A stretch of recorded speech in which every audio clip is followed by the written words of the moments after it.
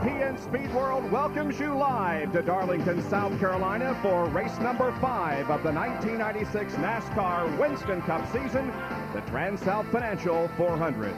It's a tough old racetrack, and who knows better than that than two drivers who have competed on the surface, Ned Jarrett and Benny Parsons. And folks, they've been coming here since 1950.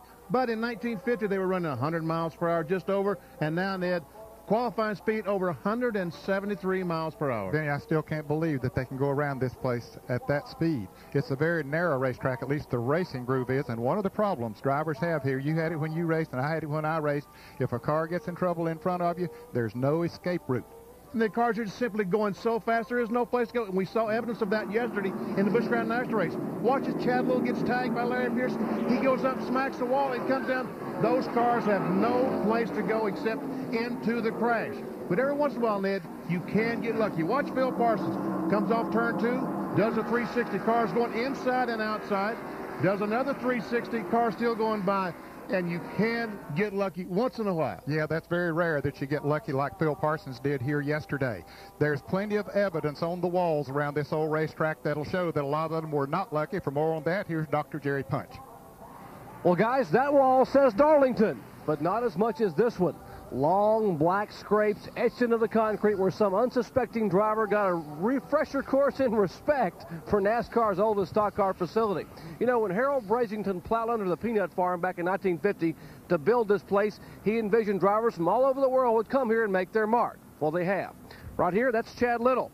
This one here, that's uh, Jeremy Mayfield, and up here, that's Larry Pearson. You get the idea. Know, unlike other racetracks that paint their walls pearly white prior to an event, they leave these Darlington stripes here as part of the heritage.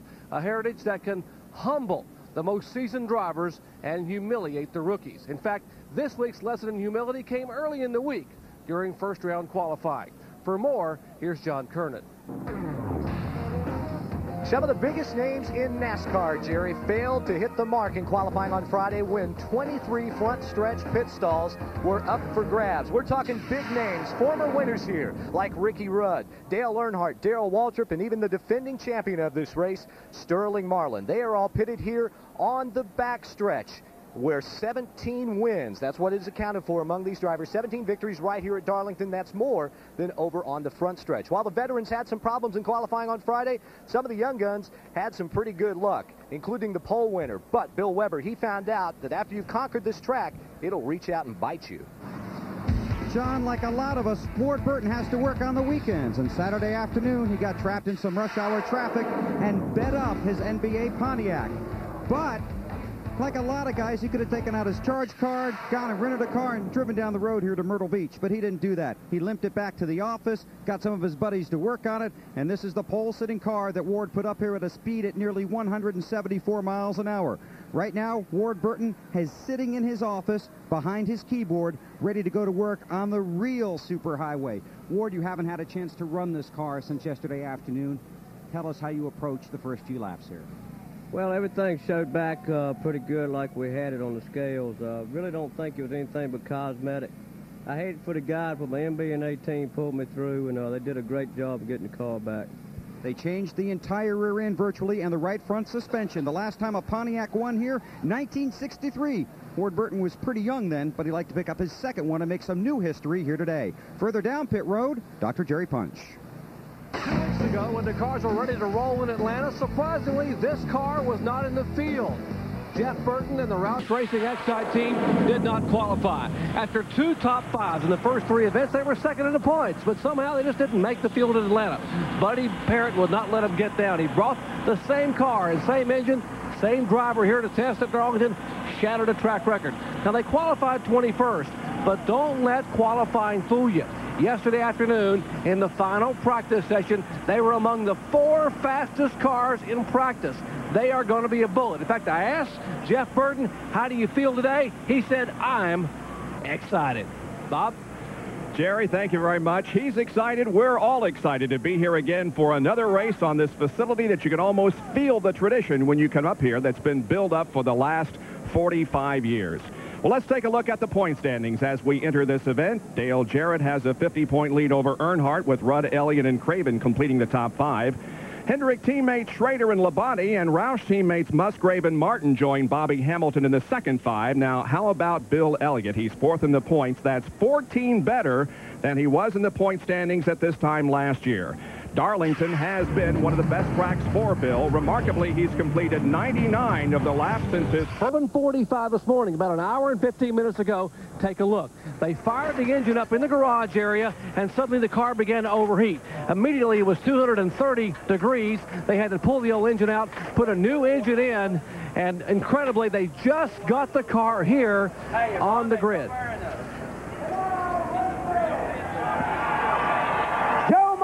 From Joe Myers Ford with the four most exciting words in Winston Cup racing. Gentlemen, start your engines.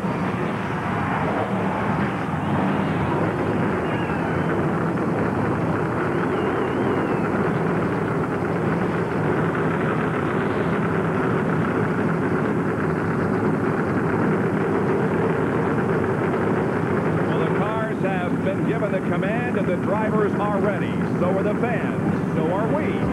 We'll come back to Darlington and reveal the starting lineup for you in just a moment on this beautiful Sunday.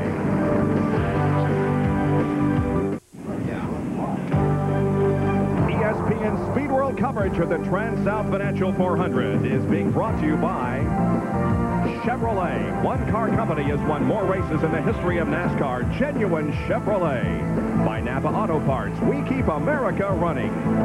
McDonald's. On the track and in our restaurants, just watch us cook. And by the NASCAR story to order call 871 NASCAR. And the pace car begins to pull away with the 41 starters behind it. They're going for a total purse here at Darlington this afternoon of a little over $1.3 million.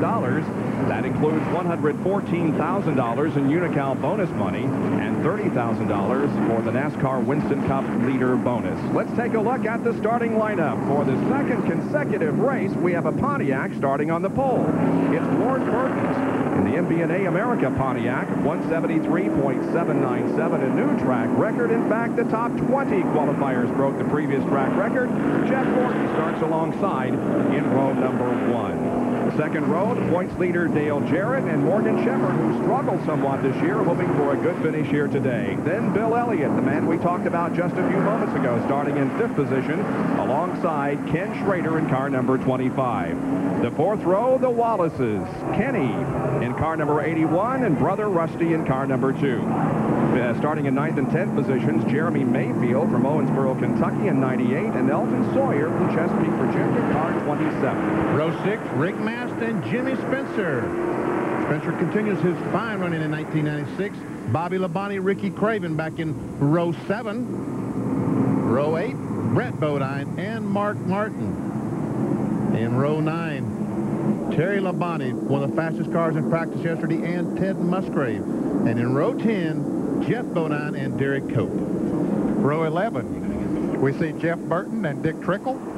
Have one more lap to go before we get the green. Row 12, Bobby Hamilton in the Richard Petty car and Ricky Rudd. Row number 13. And everybody past Rudd Ned starts, or rather uh, pits in the backstretch. That's right. Lake Speed and Bobby Hillin making up row 13. Some great drivers all the way back through the line. You see Earnhardt starting in the 14th row. We talk about it a lot of times about how many good drivers we have starting near the back of the pack. As you see these folks coming flashing up there, I can honestly say, Benny, I've never seen that many top drivers starting as far back as we've seen here. I haven't either. And ironically, we saw the Waltrips back in, in their row. They ran exactly the same speed as Darrell and Michael. And they're in row 18, Dallenbach and Ready.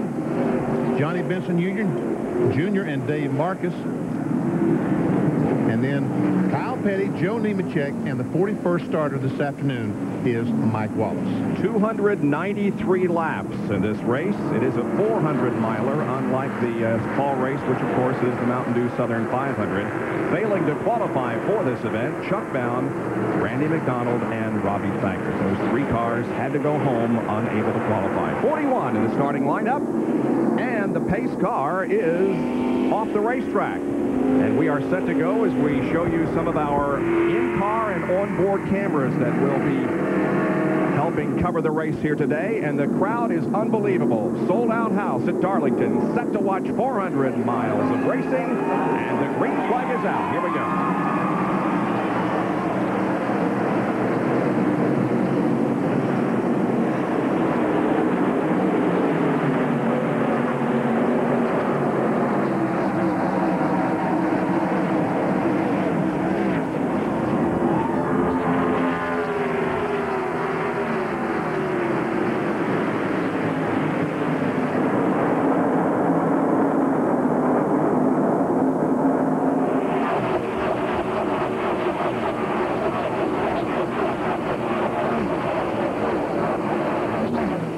Lap that Ward Burton has led in 1996. And he is getting some heavy, heavy pressure from Jeff Gordon. And the cars are getting strung out, trying to get and a car is blowing down the backstretch. Dick Trickle. Dick Trickle in the health source car number oh, nine spins.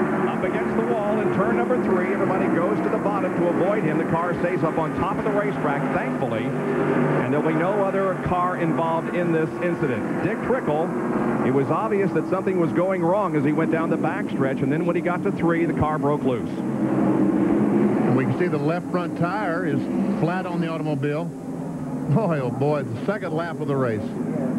And he was very fortunate, as many cars as were behind him, that no one got into it. But I'm sure the spotters had told him, hey, guys, there's a car smoking up ahead of you. There we see down the backstretch, the car starts to smoke.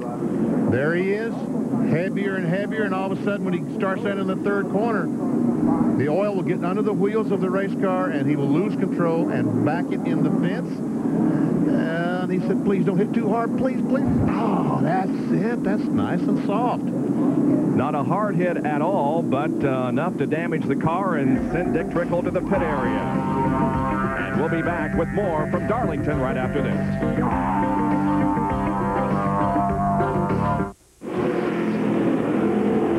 Caution came out on the second lap as Dick Trickle went down the backstretch, appeared to uh, lose an engine or something that put some liquid down on the tires, and it caused him to spin in turn three. Got oil right there where the car was at. See all of that smoke coming okay, from his car as it goes into the turn. Apparently some oil gets on the rear wheels, loses control, and right into the wall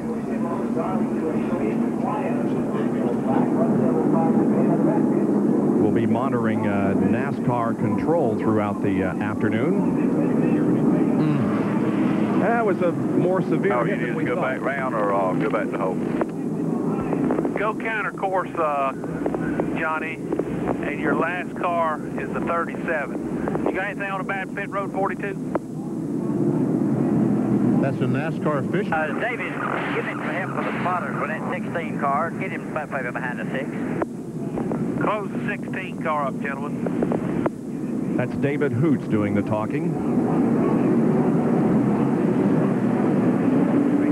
Darrell Waltrip, I saw him going by just a moment ago. I, I looked on the left rear, and I thought I saw some damage on, on John Kernan. Does Darrell Waltrip have damage to his car?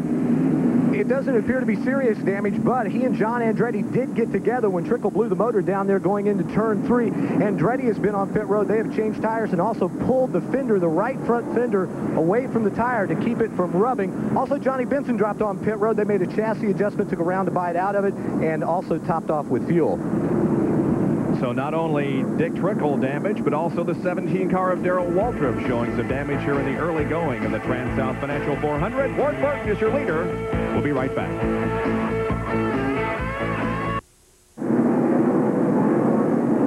We're back here at Darlington, and the field is getting set for the restart as the pace car is now off the track, and Ward Burton about to bring him down for the green.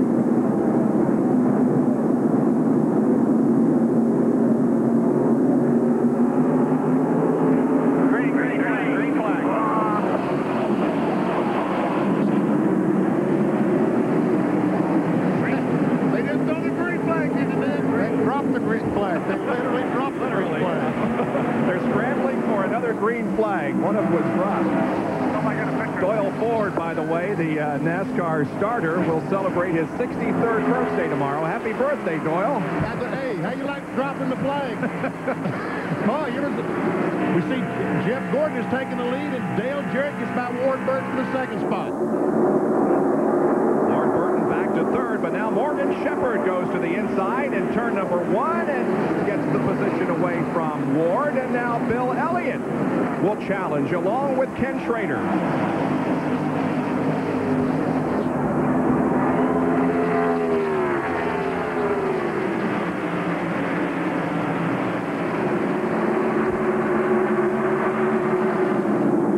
Remember, Jerry told you that an engine change for the Elliott car earlier today after the crew got here. Ken Schrader had a look on the inside, did not make the pass. And Bill Weber is standing by with Dick Trickle. And his battered and bruised Ford sits back here. You had a good qualifying run. What happened to you? We had a real good car, you know. The health service people are doing a good job for me. We ended up, I think uh, they blew an oil line off or something because it started smoking out one and two on the starter. Smoked out the back straight. Before I got to three, there must have exploded an oil line or something. I running my own oil and out sideways before I ever got to three. It was just a, you know, I, we haven't checked it over, but it, to me it was like a broken oil line or something. We just had an oiling problem. Okay, Dick Trickle disappointed down here, and uh, guys back at Sports Center disappointed for him too. Well, Ward Burton got his speed back up again, goes back around Morgan Shepherd. He must have slipped a little bit there on that restart, and, and uh, Gordon and Jarrett got back, and Shepherd did too, but now he's trying to make his way back up. But all of that has allowed both Jeff Gordon and Dale, or Dale Jarrett, rather, to separate themselves from the rest of the field. Jeff has a rather comfortable lead, and John Dale Jarrett running second well ahead of Ward Burton. John Kernan has an update. Well, Bob Darrell Waltrip and John Andretti got together right there when Trickle lost the motor. As I told you, Andretti, all they have to do is pull the fender off the right front. Darrell's got some damage on the left rear. We're not sure if that's what is causing the problem, but Darrell dropping way back now in the final spot of the cars left out on the track.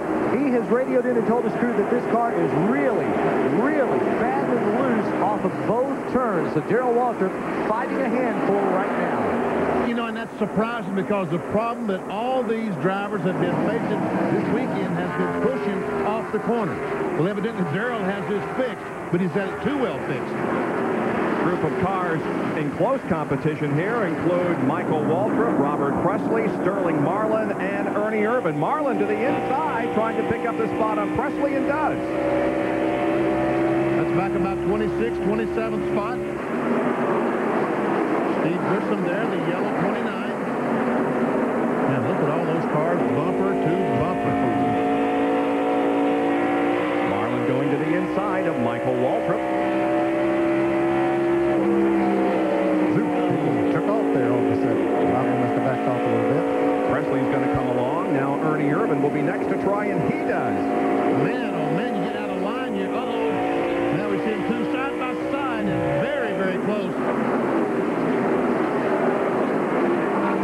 Stricklin will go on the inside of Michael Waltrip, take another spot away.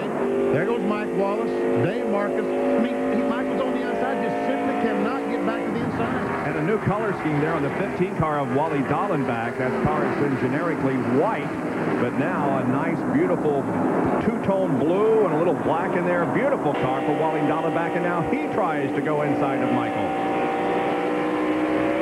Now you'll notice there's something different in our scoring pylon on the upper left of your screen. There's a bar separating fifth and sixth. That's because Benny just couldn't count down far enough. He got confused when he got to seventh and eighth, so we put a bar there to make it easier for everybody. And I do appreciate that as Bobby Hillin is trying to get by Elton Sawyer and Steve Grissom trying to make it three abreast. And, uh, and Elton Sawyer's falling back. Jerry Punch, what's going on? Well, Benny, after qualifying 10th his best of the year, he just tagged a wall about four coming off turn two and has knocked the toe in out. The car is bouncing and vibrating, we are told by Mike Hill, and he has lost a lot of spots. Currently, he is back past 20th spot.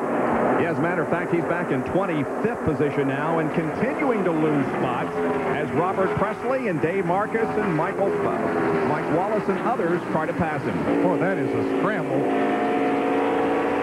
Back in there, and we say this is a tough racetrack to pass on, but they're finding a way.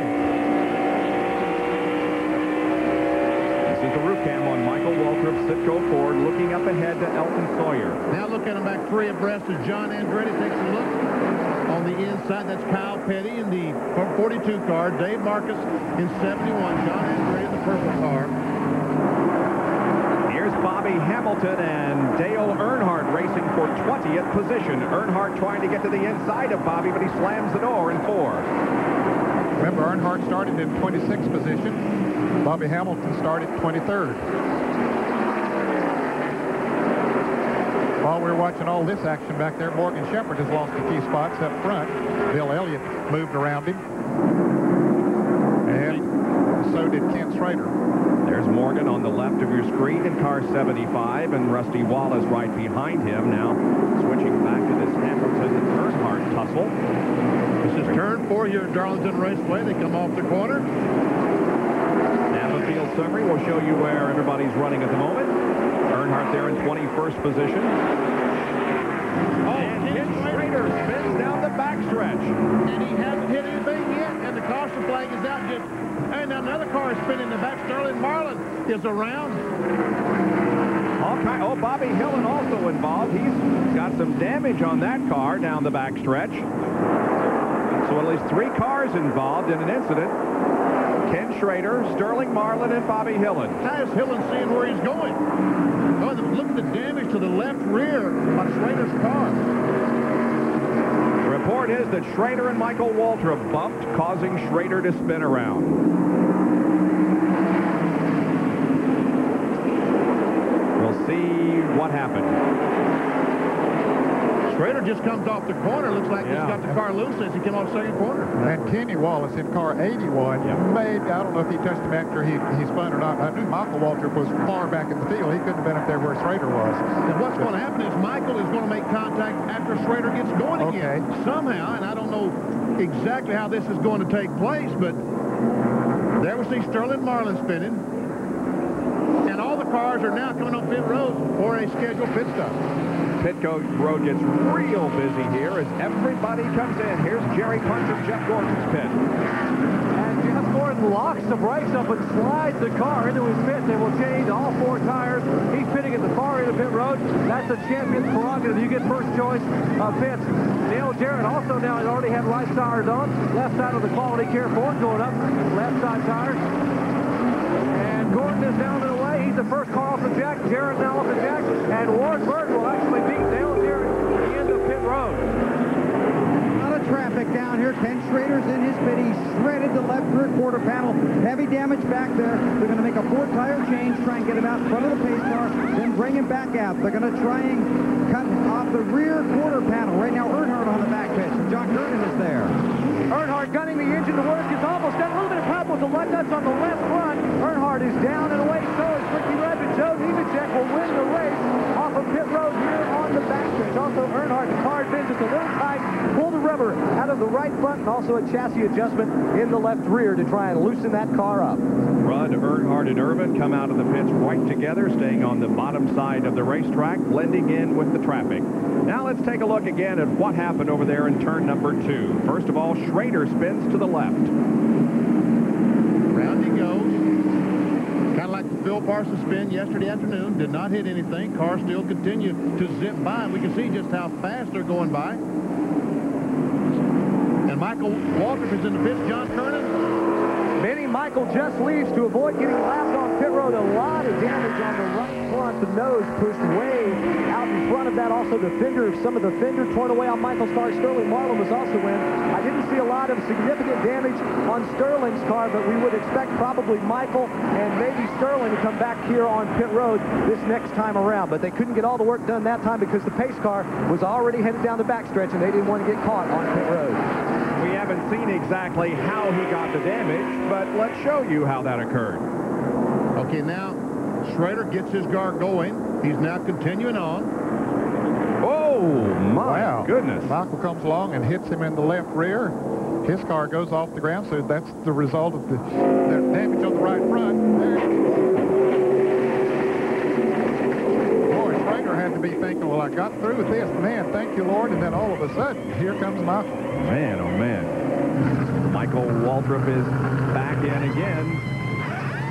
And Ken Schrader also comes in for another stop as they try to get some of that loose bodywork torn away. I don't know how they can put gas in the car. We see the gas filler just sitting there. The fuel, that's the vent hose, the plastic hose the fellow just picked up. They're going to do some serious wiring and taping to get all that stuff in place. Ken Schrader with a couple of top 10 finishes this year with sixth in points going in. Here's Bill again. About they got all the necessary surgical tools, snips, tie wraps, tape. They're going to try and cut away the uh, quarter panel that's back there, the sheet metal. Then they're going to try and tie wrap the fuel line up to the deck lid of the car around the spoiler and then tie wrap there. They're waiting with the gas to put it in. Schrader's going to have to take off in a second so he doesn't get beat by the pace car. They'd like not to lose a lap. They're still struggling with this. The front of the car looks fine, but Ken Schrader's going to have a long afternoon. Just a half hour ago, he told us how tough it was the race here. Then he went out and proved it. So the crew continues to work while Jeff Gordon is at the front of the field here after 23 of the 293 laps, and wife Brooke is looking on. We'll take a break and be back with more at Darlington, South Carolina.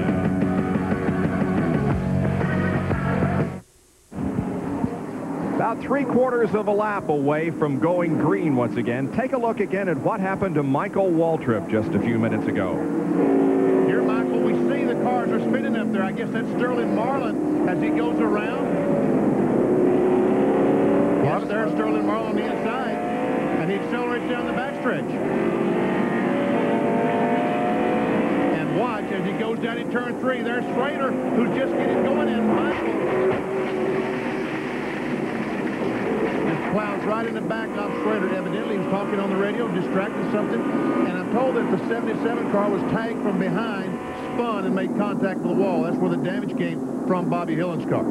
All ready to go green once again with Jeff Gordon, Ward Burton running second, and Dale Jarrett, Rusty Wallace, and Bill Elliott. You'll recall that Jeff Gordon started on the pole in last year's 46 hours, 77 bends behind the wall over here, David. Jeff led 156 of the first 200 laps and then was involved in a crash. Rusty Wallace was a big winner on those pit stops. He came out in fourth place. He was running about seventh before that caution. And some of those guys were fitting on the backstretch also. Dale Earnhardt and Ernie Irvan made some great strides in those pit stops. John Payne is with Bobby Hillin. Bobby's still working on his car back in the garage area on the backstretch pits. And Bobby, did you get a little help there? Did somebody run into you, or what happened? I don't know what happened. All I know, our car was running great. We were going to have a great race today. People just aren't paying attention. There's two cautions on the racetrack, and people don't slow down. I slowed down just a little bit, and I got tagged, and it's just, I, I don't know. You know, it's just, it's just uncalled for. Well, that's Bobby Hill, and you can hear how upset he is about what has happened. He doesn't even know who hit him. It's just uh, they didn't slow down when there was a caution on the, out on the track, guys. See, Earnhardt was able to get by Ricky Rudd. Rudd and the Pie Troop did beat him out of the pits, but Earnhardt passed him on the racetrack. Puts Dale up in the 13th spot now. This is Mark Martin. As he goes down in the corner, Bobby Labonte gets by Jimmy Spencer. Spencer tries to come back on the inside of Labonte. Can't make it. That's Jimmy Spencer in the yellow car. And Mark Martin has his mirror full of his teammate, uh, Jeff Burton. At least it's comforting to know that you got a buddy there on your, uh, on your tail on this racetrack. Right behind Burton is the uh, ominous number three.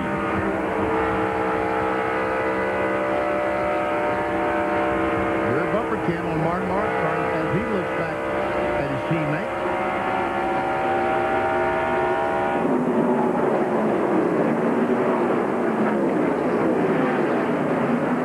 The 43 car just past Ernie Irvan. And Ernie Irvan is struggling right now because Kenny Wallace just him about two laps ago and has just driven away from Ernie. So he is struggling in that Texaco Havoline car.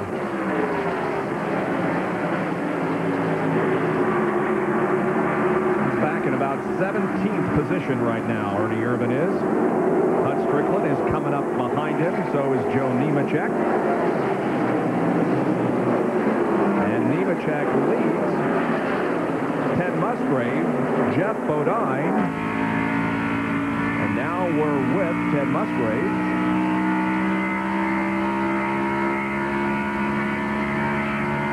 Brian Star car, the camera on the roof of the automobile. It's a really neat story concerning Ted Musgrave. He says if he wins this race, he's going to buy the engine and give it to his dad because his dad, when he was running the short tracks, when they were getting the engine ready to race that weekend, he's always saying, this is my Darlington engine that I'm going to win with this weekend. And uh, Ted, in honor of that, is going to give the engine to his dad if he wins here today and when he ever wins at Darlington. That was a neat story. Of course, his dad's name was Elmer Musgrave, raced for many years. And look at Musgrave come off the corner, and gets a run on Nemechek. Does he have him? Think so. Or is he? Yes. Nemechek did back off and let Musgrave go. There's a seventh car of Jeff Lodi. Now Jeremy Mayfield is behind Joe Nemechek along with Gary Cope. Michael Waltrip just went a lap down to the leaders, and now the other cars are coming up on him, and he went into turn three, and some cars came in a lot faster than Michael was running going into that turn, and it was about to be a wreck over there, but everybody got through okay. Michael gets back in line, so the city goes forward. Looks like he's just going to have to ride it out here this afternoon. I would guess that's exactly what's going to happen. And Kenny Schrader has been black flagged by the NASCAR officials. Evidently, some of that sheet metal is starting to come looser, and they're afraid it's, it's going to fall on the racetrack, so they've black flagged him, and he's got to go to the pits and tie it up. So it's still Jeff Gordon leading the TranSouth Financial 400 over Ward Burton, Dale Jarrett, Rusty Wallace, and Bill Elliott. We'll be right back.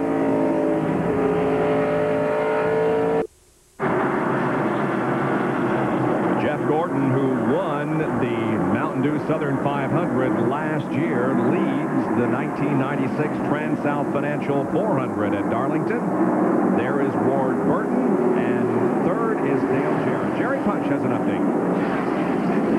This car Ward Burton is driving, his pole-winning Pontiac, it doesn't resemble, it may resemble on the outside, but on the inside, the car that's set on the pole. We documented against the wall in the last practice yesterday, and take a look at all this. Listen to all they changed. Rear end housing, trailing arms, right front suspension, new spindles, and an all-new steering mechanism. Now, Bill Davis, the car owner, told me that they told Ward to take it easy. Lead a lap and back off and get into a rhythm. That's why they went ahead and let the 24 car go by. They made a pit stop. Ward said the car feels very, very good, but I'm still not going to punish it make sure we got everything straight and we don't tear up a left front tire. I'm going to get a rhythm and just run comfortably for now as Dale Jarrett starts to close in on the second place driver. Right, Jerry, again, a Napa field summary being shown for you. Your favorite driver and where he's running at the moment. We have the top 36 cars still on the lead lap. Only five are down at least one lap. See Kenny Wallace up there in 13th spot in the Square D car. Saw him just a moment ago in front of Jimmy Spencer. He is running a much higher line than anyone on the racetrack. There, Ernie Irvan dives under Ricky Rudd, gets a tremendous run on Rudd down the front stretch, and Ricky's going to lose at least two spots. Hut Stricklin comes right along in the car number eight. Next to pass two, and there's Musgrave riding right on Ricky Rudd's bumper. Rudd's car looks a little unstable there, Benny. Not good, that's for sure, Ned. As Musgrave tries his best to get alongside, can't quite make it. See Walker down a couple of laps. He had already been lapped. They said his car was extremely loose. Uh, he had already been lapped before that caution. And now he's got another lap down.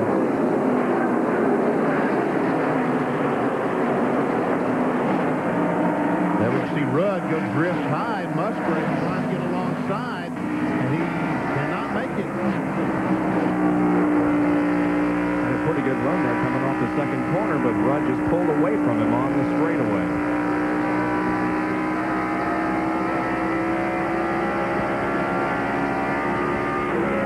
Look at those black marks on the wall that Jerry talked about earlier in the show. Here's Ricky Craven and Terry Labonte running together for sixth position, sixth and seventh here. And right ahead of him is Bill Elliott. Bill, of course, running in the fifth position.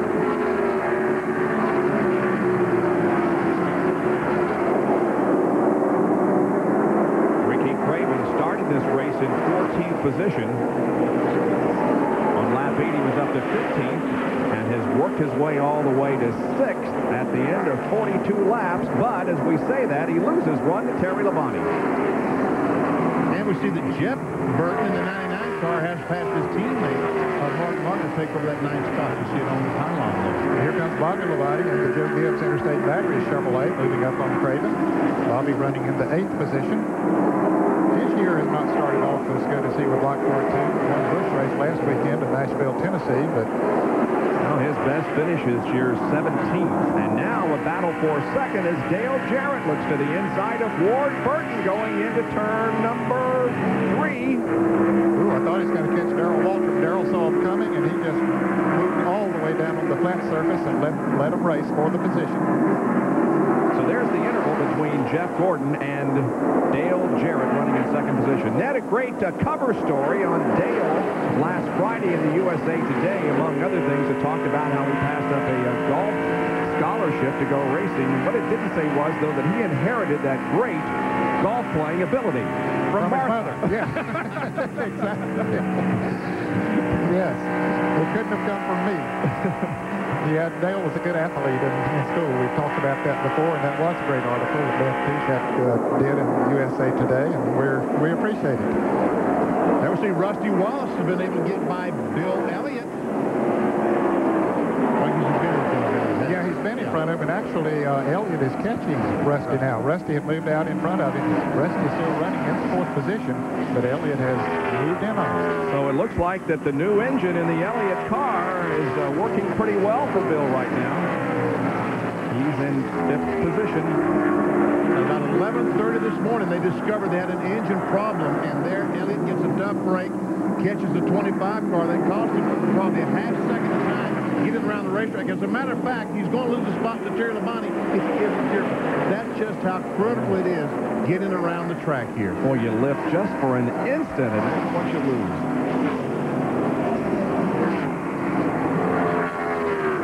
There's Jeff Burton, number 99. You see him running eighth.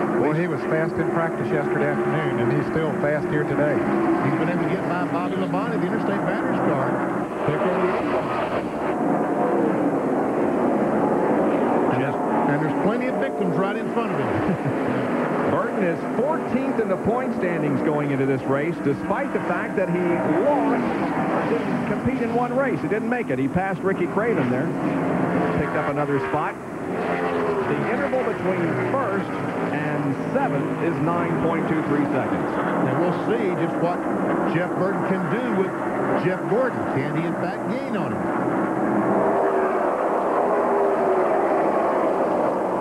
In front of them, Terry Labonte looking on the inside of Elliott. Cannot make the pass. It's 9.51, so he's losing ground to Jeff Gordon. Yep. Of course, I think everybody here is losing ground. I started to say, they all are, Benny. Here's making another bid for the Elliott position, and he has it. He moves to fifth, and Jerry has an update on Bill.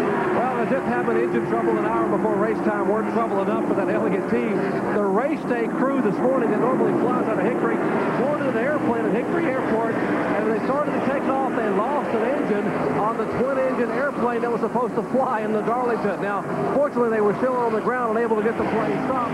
They had to call a backup plane in from Dawsonville, Georgia, to fly to Hickory, pick them up, and they just got here an hour before the race, and they run in the garage to see if anything they've left to do, and find out their race car has a blown engine sitting in the garage or an engine that has a problem.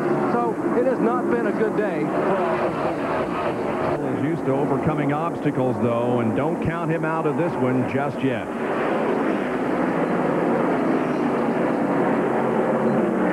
Terry Labonte leading Elliott and Jeff Burton and Ricky Craven and Bobby Labonte.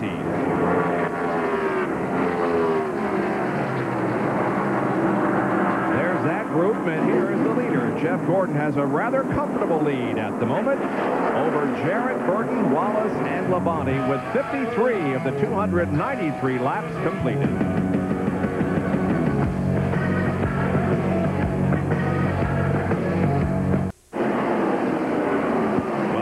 To Darlington in the TranSouth Financial 400. Jeff Gordon, car 24, the leader of the race. He's about to put a lap on Rick Mast, who is running in 32nd spot. Talked to Rick last night at the restaurant having dinner, and he said that uh, his car just didn't feel comfortable. Said he couldn't get the push out of it. As Benny said at the top of the show, most of them were having problems with push, and he was definitely one of them. Said he had too much downforce on the rear of the car.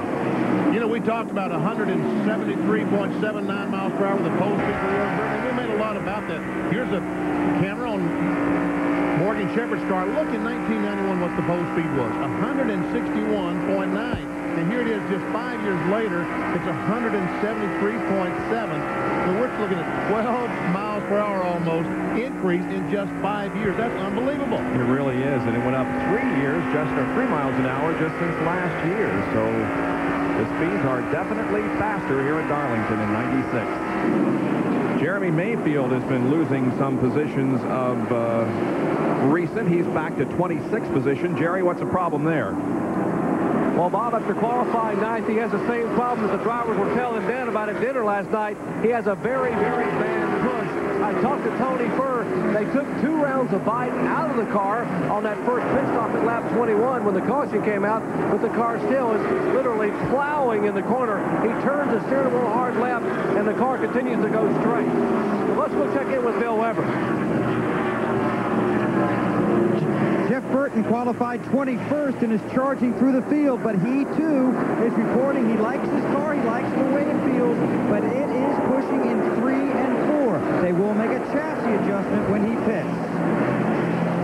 And when can we expect the pit stops here? We're on lap number 60. Well, of course, they stopped on lap 20 when right. we had that other caution, so they've only run about uh, 35 laps under green, so they should be able to go another 25 or so. Jeff Burton started 21st on the 59th lap is running in seventh spot in the Exide Batteries Ford.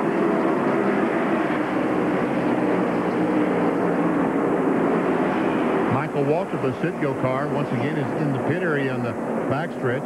He's been slow around the racetrack with all the damage on the right side. He almost brushed the wall down in turns one and two a moment ago and has taken the car to the pit from the back.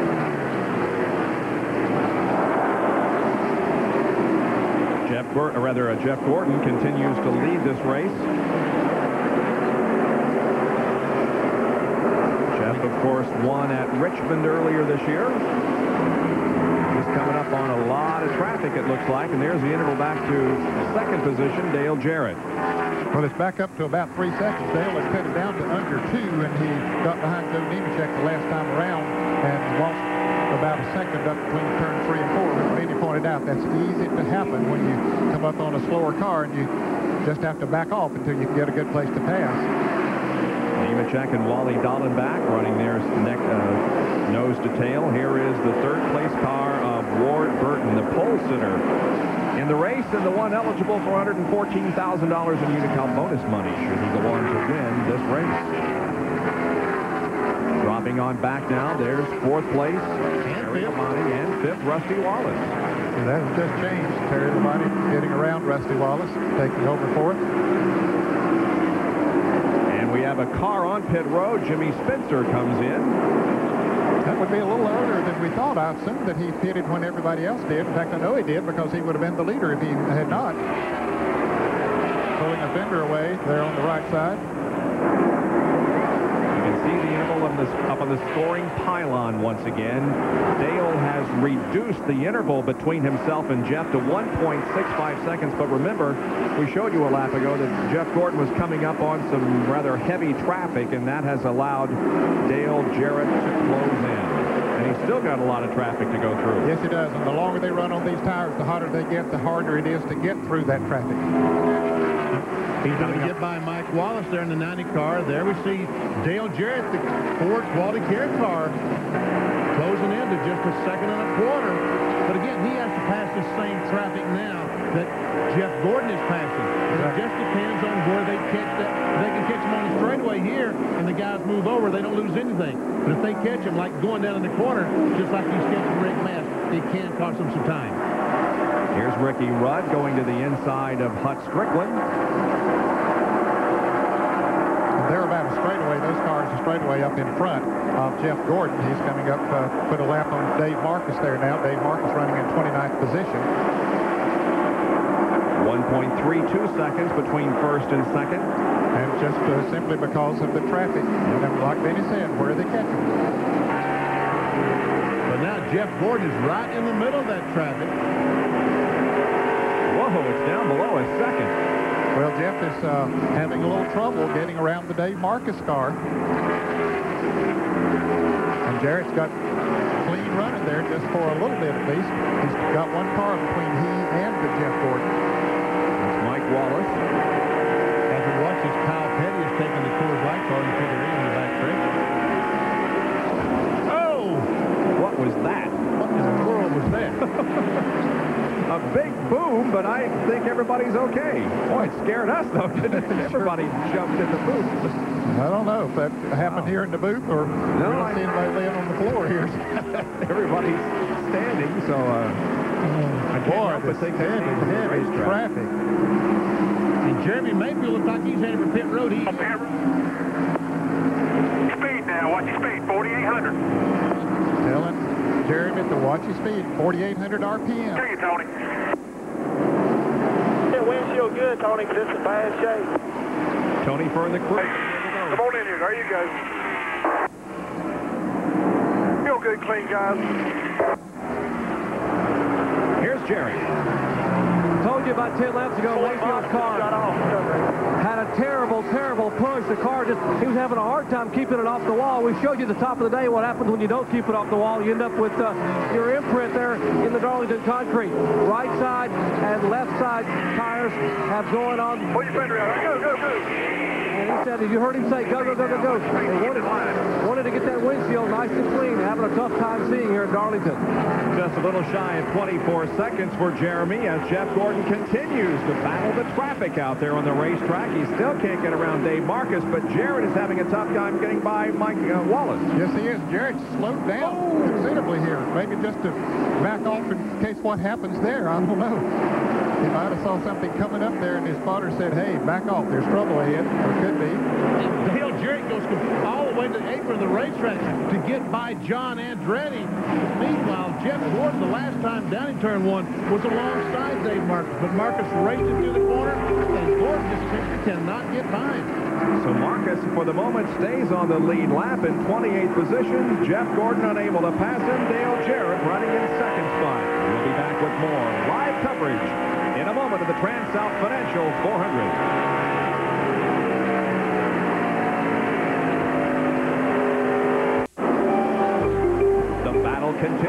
The racetrack here at Darlington as Jeff Gordon continues to lead. He did get by Dave Marcis finally. And now you see Dale Jarrett going to the bottom side of the racetrack to also put a lap on Dave Marcis, or at least try to. Yeah, he will get it done at the end of the backstretch. He's also, Jeff Gordon has passed Robert Pressley, the 33 car. He's 25th, so there are 24 cars that are now on the lead lap. Ever see Lake Speed in the Spam car? He was just left by Jeff Gordon. He was another one of those cars that was involved in the accident yesterday afternoon with Ward Burton. Here is Steve Grissom coming into the pits on the backstretch. They've gone 50 laps under green. This could be a normal routine pit stop. Here's John. Bob, what we're hearing a lot of these guys complaining the cars are very, very loose. Robert Pressley pulling also onto the backstretch of his Chevrolet Monte Carlo as Andy Petrie and the crews will go to work for a four-tire change here. Grissom's crew all the way around, swinging around to the left side, already full of fuel. No chassis adjustment as yet for Steve Grissom and Fred Flintstone. Lugnut go, watch his feet. And he is down and away. Ward Burton coming in on the front stretch. Let's go to Dr. Jerry Punch. Our pole sitter making his second pit stop of the day, pitted initially on lap 20 when the first caution flag came out.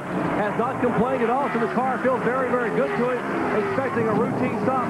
NASCAR has okayed an additional man over the wall now because the windshield have become a problem. Visibility becoming a problem. You heard Jeremy Mayfield a minute ago said, please, please, clean the windshield. That's the same plea that Ward Burton made. Left side tires going on the MBNA Pontiac as he getting ready to pull the jack, and he is down and away. Let's go to Bill Weber. And here's Jeff Burton on pit road. Four tire change, fuel. They'll clean the windshield, as Jerry mentioned, getting difficult to see. The 43 wheels around the 99 and pulls into his stall. They switch to the left side now on the 99 while they go to work on the right side of Bobby Hamilton in the 43 car. Wedge adjustment, big wedge adjustment on the 43. Now they come around to the left side. Burton is down. He's away. Expect the rest of the leaders in very soon. They work on the left side of the 43, top it off with gas, brush off the front fender to clean off the air dams, and Bobby Hamilton returns to the race. Brett Bodine is on pit road, and uh, he's getting service on his Lowe's Ford. As out on the racetrack, Jeff Gordon continues to pick him off. But look at Jarrett. Ooh, he had a notion.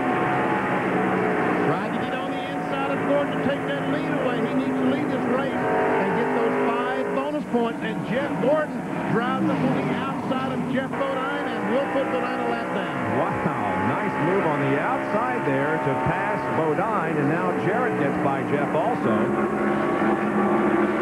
Well, Jeff's going to come into the pits. Yeah, you're right, uh, Benny. Dale Jarrett needs to lead and get those five bonus points. As we mentioned, Geoff Bodine drops down off the racetrack. He finds his pit. Ricky Rudd, meanwhile, is in on the back pits, or at least coming in for a stop. John Kernan will call this stop. Ricky Rudd slows down to get into his pit stall. He's the first car pitted here on the backstretch. Actually, if you look at it, he's got the first exit car. And they will go to work cleaning that windshield. Geoff Bodine leaves the front stretch pits. And now guys swinging around to action on the left side. Right sides are changed. They have not made a chassis adjustment. They haven't bumped up the spoiler. Ricky's the car not exactly right, but they still haven't made any adjustments. Already full of fuel. They finally get all the blood dust tightened and he is away. Let's go to Bill Weber in Craven's pit. Ricky Craven in the car that he ran so well with at Rockingham. Four tires stop, plenty of fuel. They scrape the windshield clean and they'll go to the front grill as well. All these guys get their tires and their fuel. Craven with another strong run. Right side's already on. Second can of gas going in. Looking to pull out the left side. A little slow on the jack coming around. Waiting on. Plenty of fuel in. Waiting for Mark Martin to come down pit road. Working on the 41. Left side, Ron car is down and Ricky Craven's away. And now here comes Mark Martin. Pit road. His crew over the wall. Everybody's been talking about tight, tight, tight. Well, Mark Martin's running the exact same setup he ran in yesterday's first race, in which he ran so extraordinarily well. He make one round of chassis adjustments. His car was set up to be a little bit of loose. So he's got his car where he wants it. They've got the right side on. The fuel is in, working on the left side. And behind him, Terry Labonte rolls Hello Sport Craig Chevrolet on the pit road. Again, four tires. Working lap 85 here at Darlington. The 75 also pulls on the pit road. They really work on the windshield. Bob Holt leading that off, so Terry Labonte can see his way around.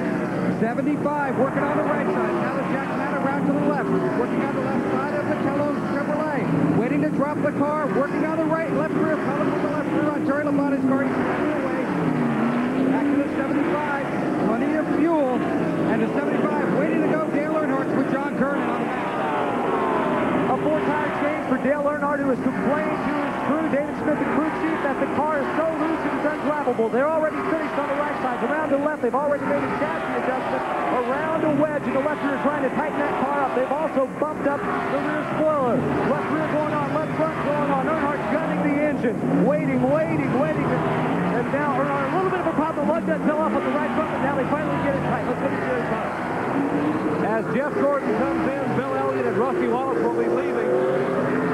And they will change right side tires. And you see that Elliott car is down, Rusty Wallace is down. They get their pressure just on the right rear of Rusty Wallace's car. Right side tires, now left side tires.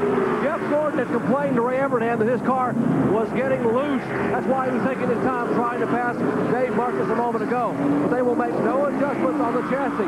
As Gordon is down and away, and here comes the, the leader of this race, Dale Jarrett. Quality Care, Ford Credit Leasing, Ford Thunderbird, the Robert Yates team, Todd Parrott and company going to work. Winner of the 1996 Daytona 500. Now Jarrett had been complaining that the car was a little bit tight, but in the longer runs, the car was getting better and better. If we get a long green flag run, a minute ago the crew was telling me, he said, we'll be able to catch the 24 car and pass them. Left side tires going on. As they're off the jack and down and away. Let's check in with John Turner. Jerry almost thought that Ernie Odom was going to overshoot his pits as he slid to a stop, but he got it just stopped. The car just stopped before the line. The crew is already finished on the right side. They swing around to the left side. They say there's a crash looks like it's John Andretti and Geoff Bodine as they got together coming out of turn two. The caution flag is out. Irvan's crew completes the work, and he is now down and away. Who's that going to hurt, guys? Well, I think everybody had stopped excepting Bobby Labonte. Yep, possible exception of Bobby Labonte, who has stayed out there, and he's going to be on the lap by himself, maybe. He just might be on a lead, on a lap to his own, because he has stretched his pit stop. And caught a caution. Geoff Bodine and John Andretti were involved in, oh, oh, look there, when everybody trying to get slowed down, and Jeremy Mayfield made contact with Hut and a wall. Yeah, the, the pace car picks him up going into turn three, and uh, so Bobby Labonte had slowed down to let the pace car get out there, and they didn't realize that. And now here comes Labonte in for his pit stop, but there is going to be much more activity on pit road because everybody else was just in. Well, no one else could pit. That's Everybody's right. a lap down. He's the only guy that can pit. They have to wait till the next time around. Let's go to the pits and Bill Weber. Well, race fans, you don't see this very often. Only one guy has pit road all to himself. Now, Geoff Bodine's also on pit road further down at the other end. But Bobby Labonte's here for a casual four-tire change, jam in some fuel, clean up the windshield and the front grill. But water bottle comes flying back out. He's got plenty of fuel in. Now the 23 zips by. Working on the left front, they had a problem with the away. They're working on Geoff Bodine's car very feverishly up in the right front corner of the car. We can see the heavy, heavy damage to the right door on Bodine's QVC car. Let's see if we can tell exactly what happened as they came off the second corner. It's already happened. But Andretti comes down and smacks the wall hard on the inside. A lot of damage to the Kmart Little Caesars car. But Bodine stops, I think, before he makes too much contact with the wall. Most of the damage is done to the right door on his car. So a caution here at Darlington has really scrambled the standings. We'll be back to check things out in just a moment in the TranSouth Financial 400.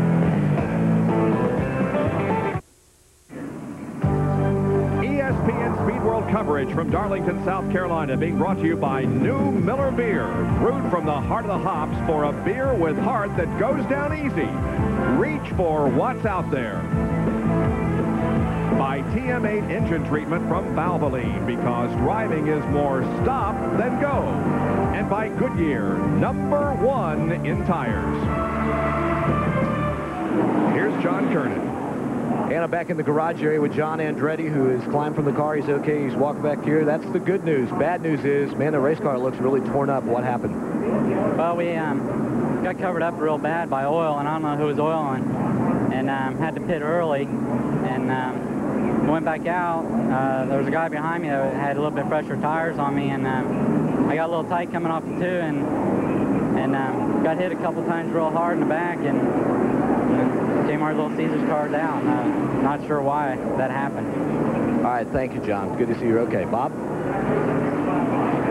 Well, we're still under caution, getting set for the restart here. We're 94 laps into this event. Stay with us. Just missed a half a lap. They just went green once again. After five laps of caution, the leader of the race is the 18 car of Bobby Labonte, but there are uh, 16 cars that are on the lead lap. And look at Labonte weaving through the traffic. No, the, the traffic is weaving around him. man, oh man, he was caught back there by some floor cars, and all these guys scrambling, trying to get back in the lead lap. Now the fans wonder, what we said Bobby Labonte was in a lap by himself. He was until he came into the pits. Then when he came into the pits, all of those that were one lap down came on around, and he had to come out behind them, so they were uh, technically on the lead lap at, at the tail end of the lead lap. Yeah, all those cars in front of Bobby Labonte here are at the tail end of the lead lap. And John Kernan has more on Dale Earnhardt. Well, we told you earlier how Dale uh, told the crew the car was so loose it was undrivable. Well, he took advantage of that last caution. We got back on the pit road, tape on four tires, and they also removed the rubber from the right rear. We'll have to wait and see if that does the trick for Earnhardt, whose car has not been right ever since the green flag fell. Earnhardt in 16th position in the 22 car of Ward Burton, also losing spots. There's see Hamilton on the inside. Dale Jarrett may have some kind of problem. Jerry Punch, what's going on? Last time by, Dale Jarrett, radio crew chief Todd Chris. I think I got a left rear going down. Left rear, left rear. Said the car is very, very loose to the crew. The quality care crew just up on the wall there, standing by. Now Jarrett's coming around this time. He just said a moment ago, the car is very, very loose. And he had been tight before. He's running third behind Labonte Gordon, then Jarrett, then Terry Labonte, and Jeff Burton. There's a scoring pylon for you. It could be that they've let some air pressure out of that left rear tire, and before it builds up, he is going to feel extremely loose. It may be something in four or five laps will cure itself. By the way, this is the first time that Bobby Labonte has ever led at this racetrack in his seventh appearance. He's doing a pretty good job leading right now because he's got about a mile lead. That's right. Looking for Terry Labonte. There he is behind Johnny Benson. Benson lap down in 24th. As you can see. There's Jeff Burton right behind Terry. And Bill Elliott is not too far behind Jeff. And then comes Mark Martin. Behind him is Morgan Shepherd. There's Morgan Shepherd. Ruth Cameron.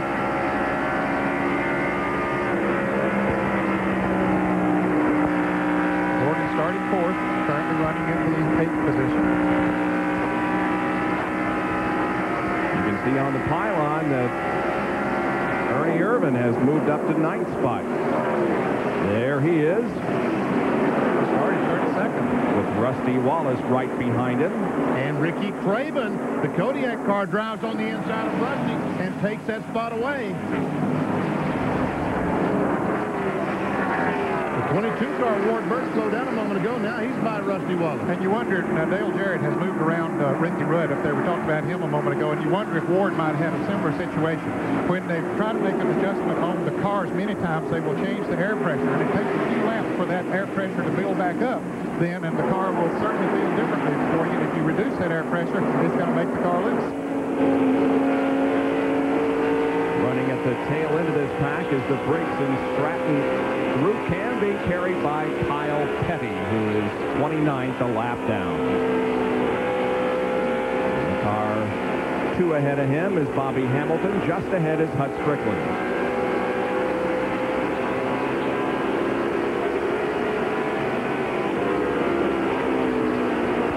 Inside.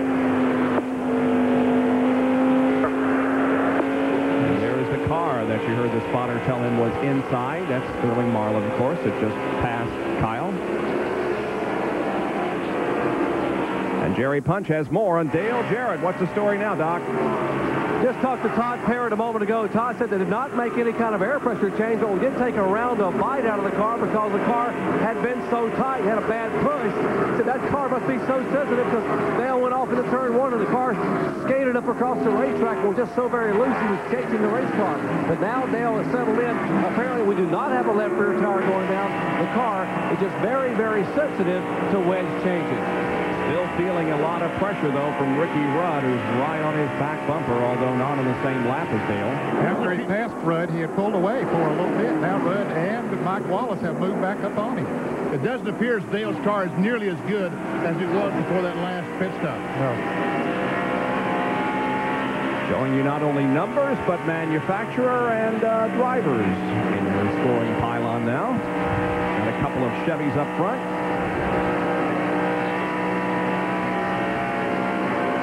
Got six Fords in the top ten. And there's one of the Fords, Bill Elliott. And Morgan Shepherd, who looked to the inside there at the end of the straightaway. And here comes Elliott trying to get on the inside of Benson. Just can't do it. But look how when he gets off the gasoline, off the accelerator, look how much momentum he loses, and Morgan just blows by him. So Morgan picks up fifth.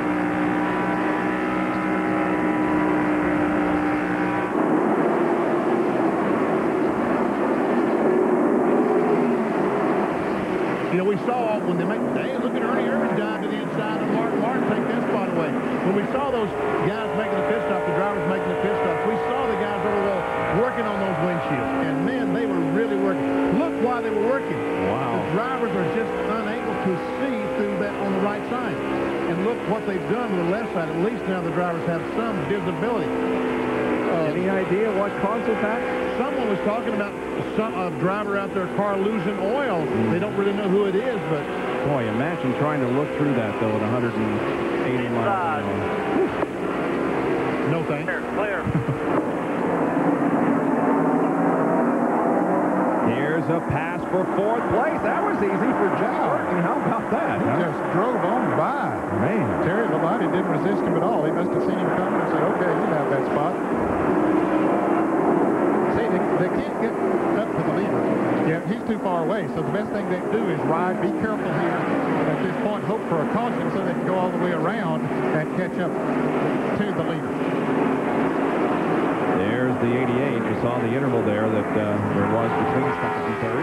Yeah, and the second and third, Third and fourth. third and fourth are gaining on Dale Jarrett. He is definitely, as Benny said, not running as good as he did a little bit earlier.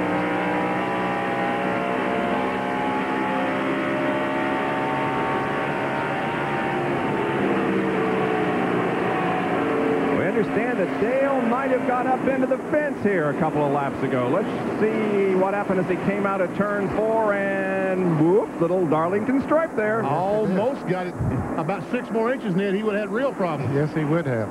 And from the roof cam, bumper cam, He just, we saw just a little bit of dust as he just touched the wall as he came off the corner. Is that where Jerry Punch did his, his uh, stand up at the start of the show? Yep. So, so ne- next time he say, well, here's Dale Jarrett's mark. That's right, yep.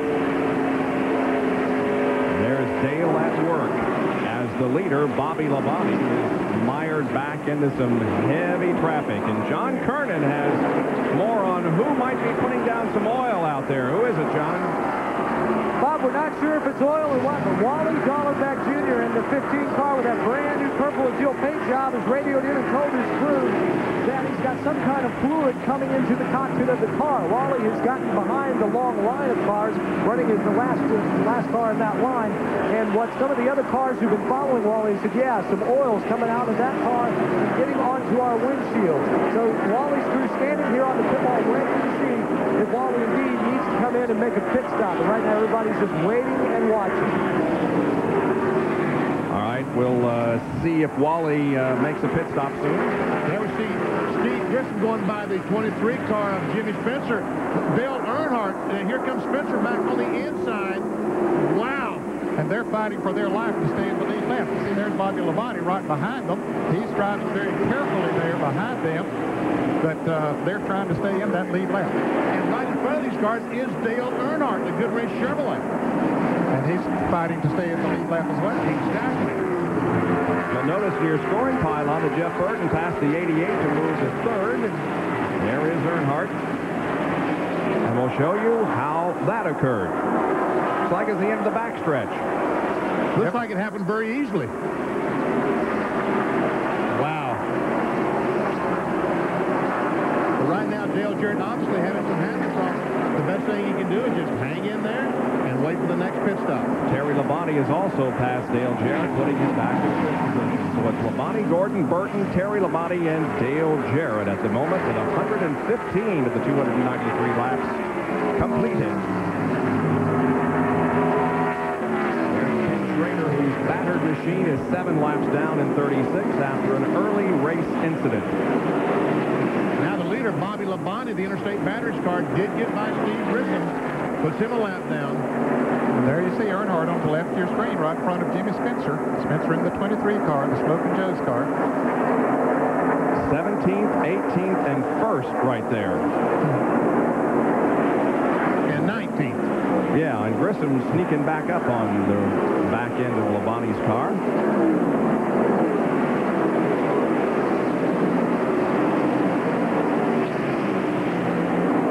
So with Bobby Labonte out front, we'll take another break and be back with more as the food is being prepared in the concession stand.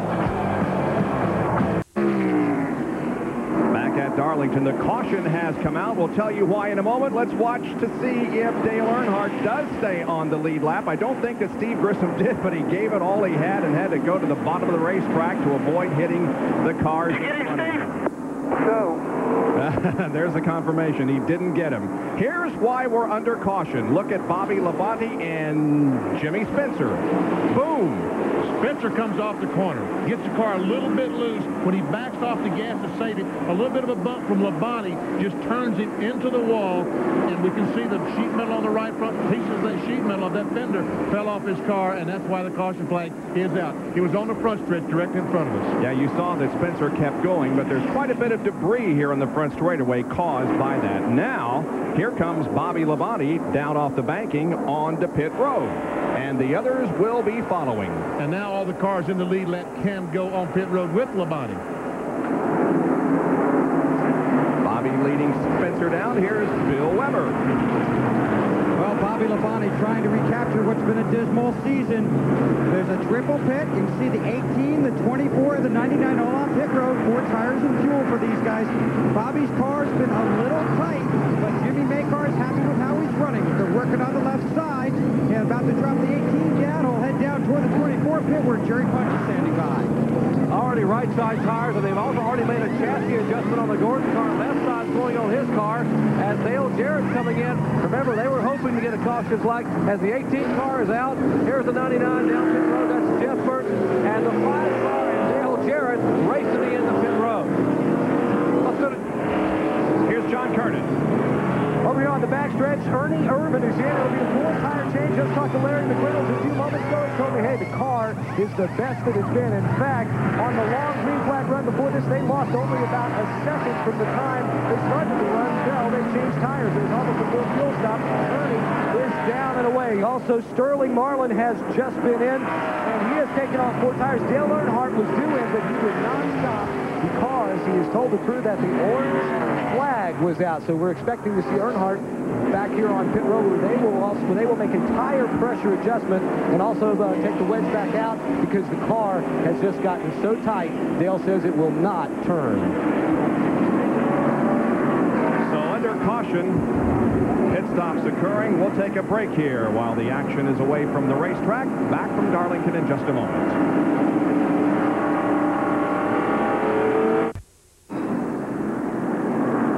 Is still out here at Darlington because of an incident here on the front straightaway involving Jimmy Spencer. And there is Spencer's car with damage on the right front. He's been into the pits and now pulls out. We uh, will tell you that Dale Earnhardt stayed out there long enough to lead a lap, so he too picks up Eight or 12. bonus points. Listening to race control. 28 or 12. Uh, Ben Smith.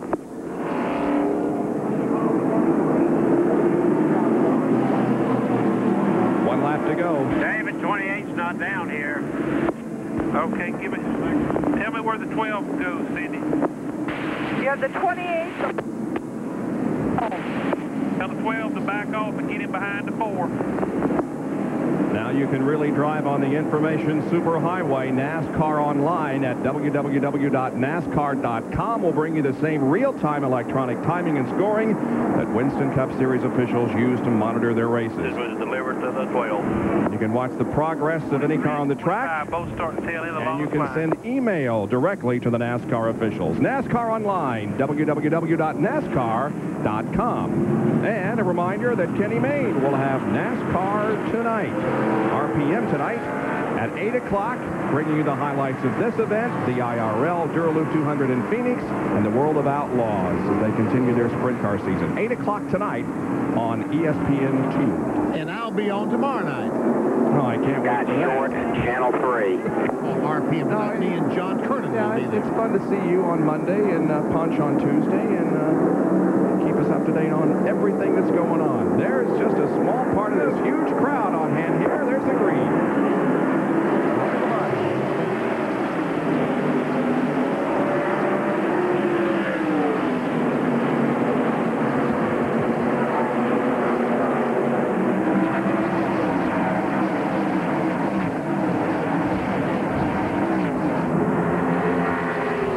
You see the 33 car, Robert Pressley, back in the lead lap. Now, let's see just how good Jeff Burton is going to be.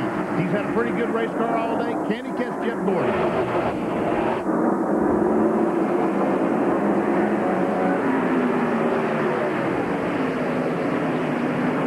Jeff Gordon goes for the lead. Burton comes along with him. Is he going to make it three deep? Yeah, yeah. He said, here's my opportunity. You guys can do what you want to out there on the outside. I'm going on the inside. And now watch him go high, and Gordon will come low. Can he make the pass? No, he's not going towards him. No, he's not. Big W ain't going to. Thank you. Wow. Jeff Burton leads. Dale Jarrett is on the bottom of the racetrack along with Brett Bodine trying to get by Bobby Labonte. I'm sure they adjusted on the Quality Care that time. We'll see. In about 10 laps, if Dale Jarrett was able to fix the problem he had the last time. Brett Bodine up there in the low score is running good, but he's two laps down.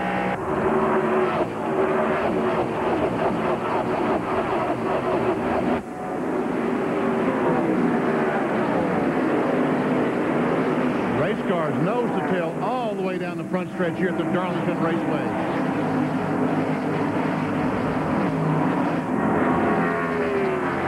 There's Terry Labonte running fifth.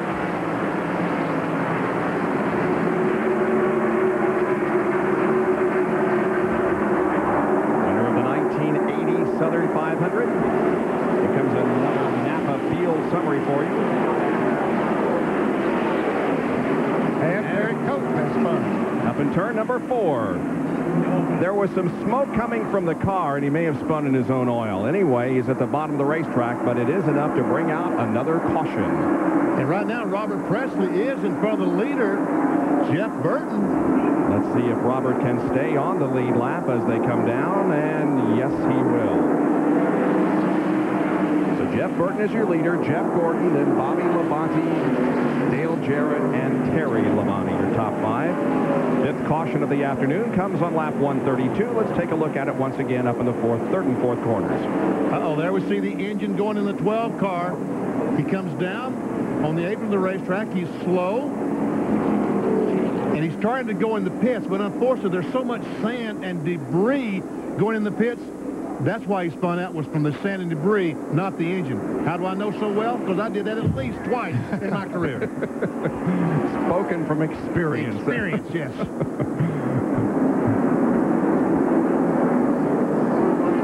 Well, I don't think we'll see pit stops. They haven't run that long, and those up front, if the leader don't come in, they don't want to give up track position.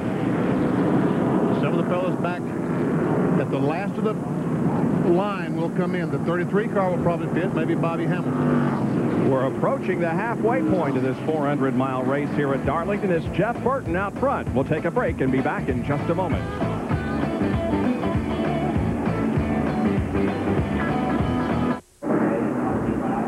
Still under caution here at Darlington Raceway in South Carolina. We're under caution because of a spin involving Derrike Cope, but the fourth caution of the afternoon was caused by this incident coming off of corner number four, and it involved Jimmy Spencer and the green car of Bobby Labonte. Spencer into the wall hard, and you got to feel that because of that damage, there was damage to the crush panels. What are the crush panels? Well, they're the subject of this week's Track Fact. Track Facts are brought to you by Quaker State, the motor oil that exceeds the highest standards of engine protection. You've heard us talk about crush panels. What are they? Well, right now they're getting crushed. It's an aluminum panel that goes between the frame and the body to keep the fumes out of the race car. There we see the panels in the front. There are the panels in the rear. Joe Bessey in practice on Friday hit the wall and bent his crush panel. Had to put in a new one to keep those fumes from coming in the car and getting the driver sick. So once again, the crush panel seals the outside of the body to the frame so that air doesn't get in the driver's compartment. See the little black box at the bottom of your screen? That's an electronic transponder NASCAR is using for a new scoring system. And that scoring system right now tells us that there are 99 cars. 90, the 99 car is the leader, and there are 17 on the lead lap. That, that, scoring system, by the way, is experimental. Yes, it's not the system they're using now. They're right. just trying to perfect it. So when they put it in use, it will be up and running the first crack out of the box. Here we go. Extreme skill and power NASCAR. I agree with you. Got it. Green flag restart. Lap 136. We had four laps of caution. We're back to racing.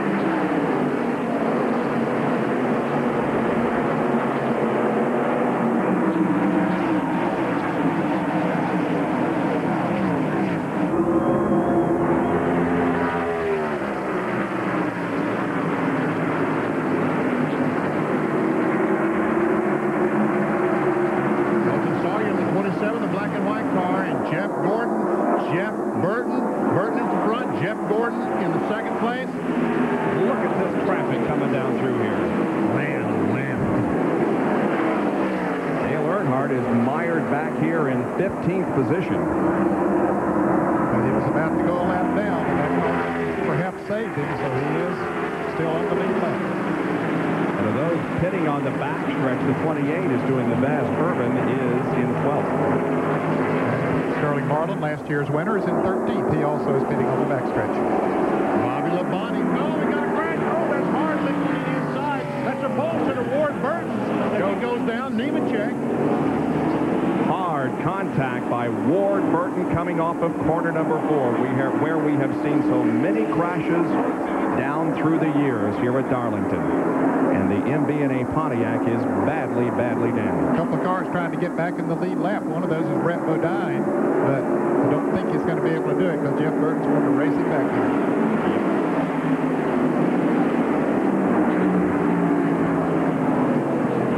Let's hope Ward is okay because he took a lick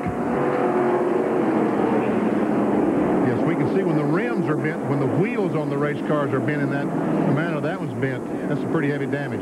Let's see if we can tell exactly what happened. We see Ernie Irvan gets the car completely sideways, goes around. I didn't know Ernie was in the wreck. I didn't either. And Ernie comes back, and I don't think he's going to hit anything. And meanwhile, Nemechek spins a Burger King car.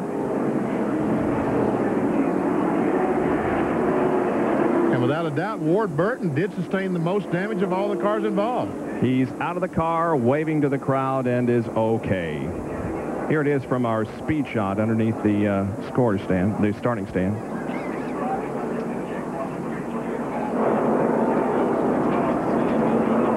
Well, there you see Ernie getting sideways and spinning backwards. So it must have been sort of a chain reaction deal behind him. The nine car of Lake Speed is damaged in the front end, and I have a feeling that he hit Ernie in the rear here as Ernie tries to get straightened out, right? There, yes. There, yeah. You see him come into the shot. Mm -hmm. So that means that there's some damage to the rear end of uh, Ernie Irvan, probably. Yeah, Lake Speed. Boy, you can see Ward Burton hitting hard down on the inside, and here's Nemechek's car coming down to the inside. You see Earnhardt and Robert Pressley and others coming through back at the back of the pack. And for Lake Speed, boy, this has been a tough weekend for him. I don't think we mentioned, we talked about Ward Burton uh, wrecking his pole-sitting car yesterday. He was involved with Lake Speed. Lake Speed had to go to a backup car. Now he's torn up the backup car, or at least he has damage on it. We have a lot of damaged equipment here, and Ernie Irvan comes in. So does Lake Speed, and Ward Burton's car is here on the front straightaway, all tore up. Back in just a moment.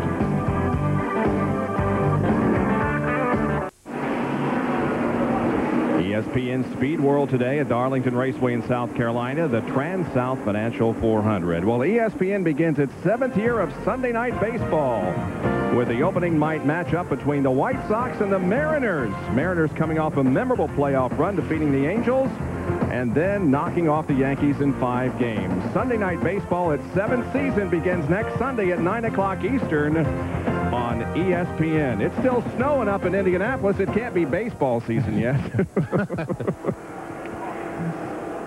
Pace cars off, getting set for the restart. Ready now, pay attention, be ready. Steve, going green this time, buddy. Be on your toes. Let's get ready, buddy. Get ready. I'm ready. 19 car will be coming up behind us. Ready. Roy the tower. Stand by, Roy. Green flag.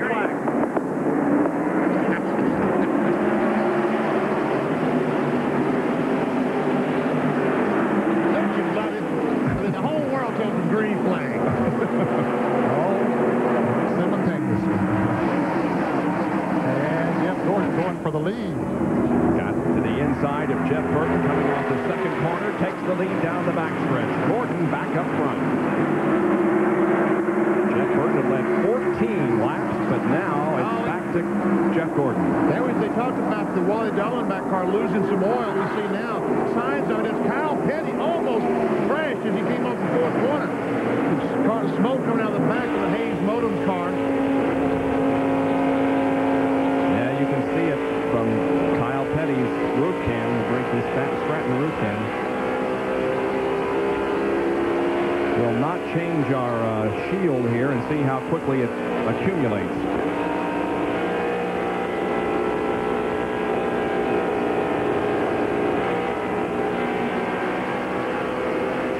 And Kyle is trying to get on the inside of Dallenbach. He does.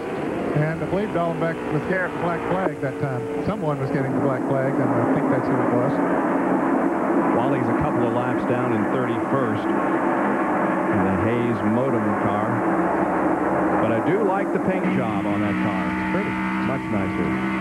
Now we're with Ted Musgrave as he comes up on Rusty Wallace. And the battle for 10th. Rusty is 10th. Musgrave wants 10th.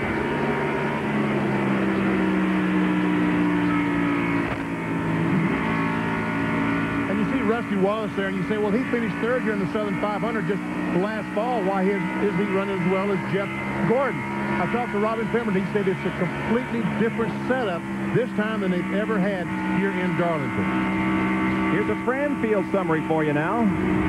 The numbers in parentheses once again are the starting positions. Earnhardt started 27th, is now 12th. Sterling Marlin started 32nd, is 14th. And Ernie Irvan started 32nd and is 15th. I mean, look, I wish, and we got a crash down Jimmy Spencer's on the wall down 1 and 2 up against the ball. This will bring out the caution flag once again. Our seventh caution of the afternoon comes out with Jimmy Spencer's car up against the wall in the second corner. And here comes the field down to get the caution with Jeff leading. And that's the halfway mark. So Jeff Gordon will pick up the Gatorade $10,000 halfway money. Yep. Here's Bill with Ward Burton. And Bob, uh, this driver and his team are crushed. They are very disappointed. Ward, what happened? Know, 28 somebody got together, and uh, I was directly behind it.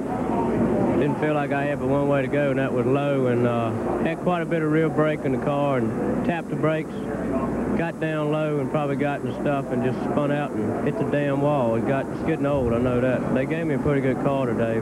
They fixed it pretty well for you after yeah, yesterday. Yeah, they really did. Um, you know, I feel like if we'd have just hung in there, we could have uh, left here with a decent finish, but we'll get him next time, bro. Okay, this part of the job stinks. Leaders on pit road. Everybody coming down, all those on the lead lap at least. Here's Jerry Punch. Well, you got a glimpse of how good this DuPont Chevy really could be when they went to green a moment ago. They told Jeff Gordon, go after him. Let's get that halfway. But as Gordon punched the button and just drove right by the 99 cars. He's also in the pits. You were watching, that's the Exide uh, battery Ford Thunderbird. Now back to Jeff Gordon. You see him putting left side tires on the DuPont Chevrolet. Really cleaning the windshield. Look down pit road. The five cars down as Gordon is down on the way. His teammate, likewise, Terry Labonte is down. They scramble through turn one. There is Bobby Labonte, Bill Elliott, and Dale Jarrett. Let's go to John Turner, who's in the Earnhardt pits. It'll be a four-tire change for Dale Earnhardt. They, Bobby Hutchens keeps telling me the car's getting closer to where we want it. They're doing just air pressure. They're going down air pressure, all four tires. Left side's coming off. Also, Ernie Irvan on pit road for four tires. Remember, he spun out. He did get hit from behind as Earnhardt leaves pit road. Irvan now getting left side tires. He did. He was hit from behind because the rear, right on the right corner of his rear bumper, guys, there was a mark there, a little bit of a ding there, but nothing serious. Larry McReynolds says the car is okay. They must have beat that quarter panel back in because when I saw him coming to pits a moment ago, it looked like there was a sail hanging out there. I guess they right? took a sledgehammer and knocked it back in. That's where he was hit by Lake Speed. So the uh, pit stops being completed here under the seventh caution period of the day at the TranSouth Financial 400. Stay with us. We'll be back in just a moment.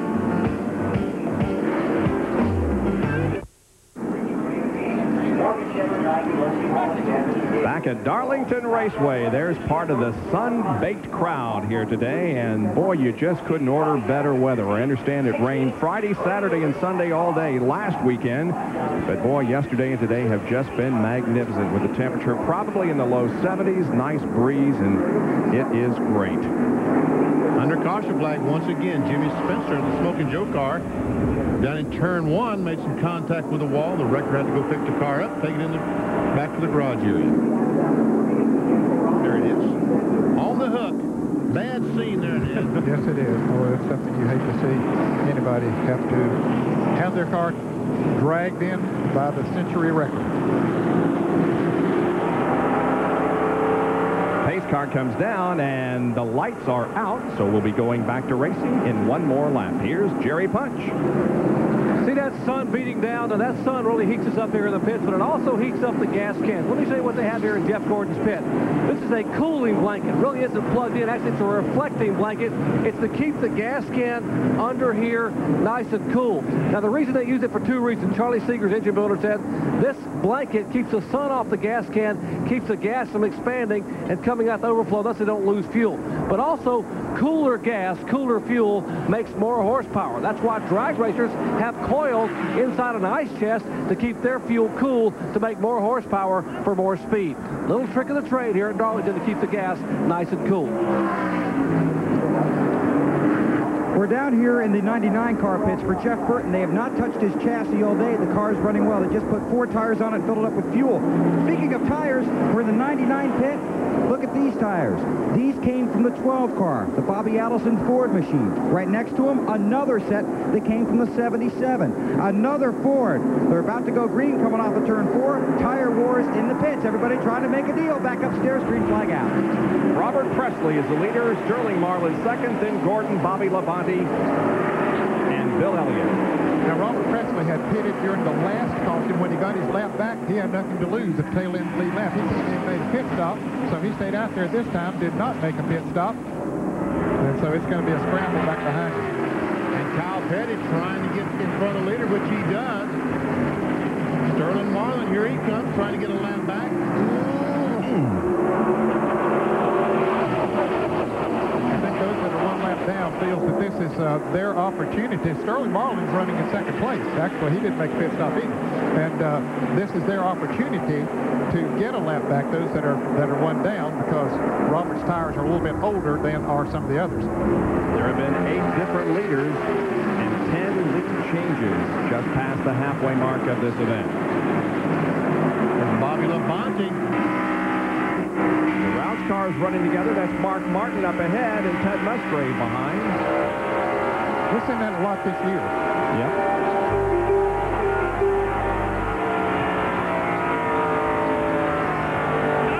Oh, boom. Boy, hard contact, huh? Man, oh man, somebody's supposed to slow in front of Mark Martin. As a matter of fact, they're still trying to get straight off the second corner. That's Mike Wallace on the right of your screen. As he now gets back in line, but man, Mark really took a shot. He didn't. How in the world he kept from the cars beyond me? It's Morgan Shepherd in front of Mark Martin. I guess that's a car that slowed going down in turn one. Boy, we were lucky we didn't have a big chain reaction. Here it is. Watch Shepherd. Jeremy Mayfield goes in the corner. Oh. I see they got together, and Mark Martin was trying to avoid the wreck that was going to happen, so he backed off the gasoline, and Musgrave just nailed him. Here it is from another angle. There you can see Mark checking up, and he and uh, Musgrave gets hit by Earnhardt. Yeah, he does. I mean, they, they were so close on each other, they couldn't see him. And look at all the cars behind him trying to dodge Hut Stricklin down on the apron of the racetrack. Here it is from the in-car. This is what we saw originally.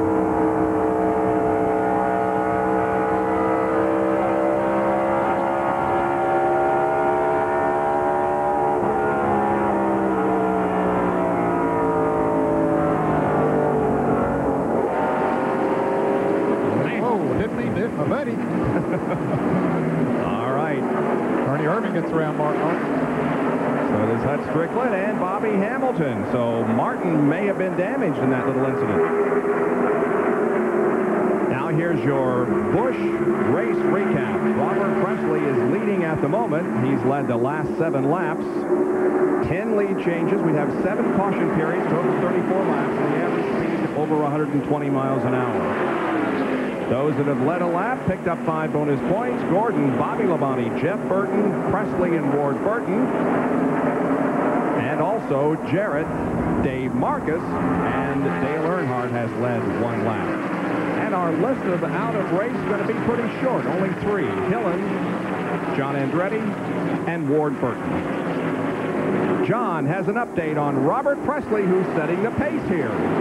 Well, I tell you, that's a pretty good car Robert's got out there. That car won two outside poles last year, Martinsville in April and New Hampshire in July. Andy Petree decided to roll the dice because he said they only had seven green flag laps on that set of tires. And now they're at the front. Not bad for a team that, hey, what about an hour ago was almost two laps down. They're really pumped up back here. And Pressley, of course, won the Busch race in the spring of 1992 and 93 to become the only driver to win back-to-back Busch races. 29 car, we understand, is beginning to show a little smoke. He's on the inside of Kenny Wallace as he comes off the second corner, right direct in front of Dale Jarrett. Still haven't seen any smoke. Ooh, there's smoke up in front of him because up at the wall. The leader spinning in turn three. Nobody else is going to be involved, but just a lot of smoke coming from that car. And the caution flag is out. Oh, these blowing tires. And it's out. And Robert, stop, stop, stop. Stop, Robert. He's trying to. There's something, the drive shaft or the something is falling out of it. Oh, what a tough break. Oh, man.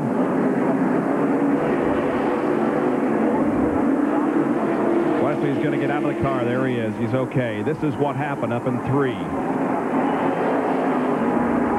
Well, it just goes in there, and it looks like a tire might have gone down or something happened that he broke traction. The rear just went out from under him. Into the wall he went, and a lot of close calls as everybody tried to maneuver by. Boy, Bill Elliott and Dale Jarrett way down on the bottom of the racetrack, the apron of the track to get around Pressley, whose car is now stopped here just shy of the start-finish line. And there's Robert. Out of the car, okay, but a tough break. He was the leader of this race. It brings out our eighth caution of the day here at Darlington.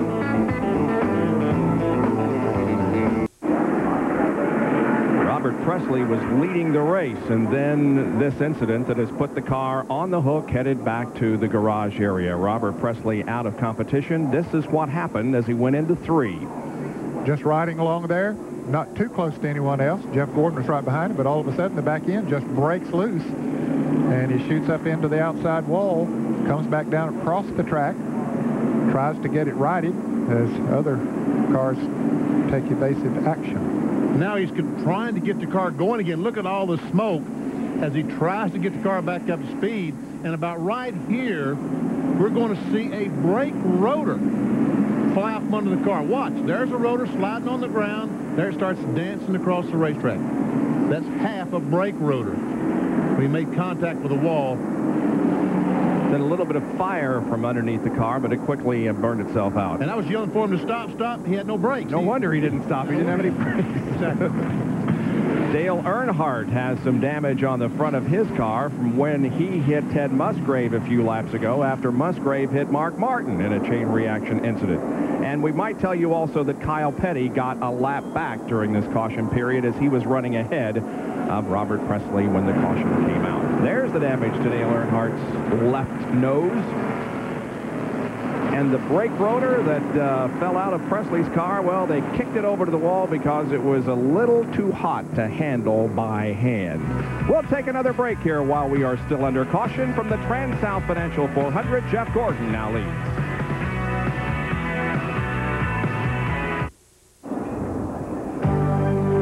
ESPN Speed World coverage of the TranSouth Financial 400 being brought to you by the more than 1,250 AutoZone stores across America. AutoZone, the best parts in auto parts.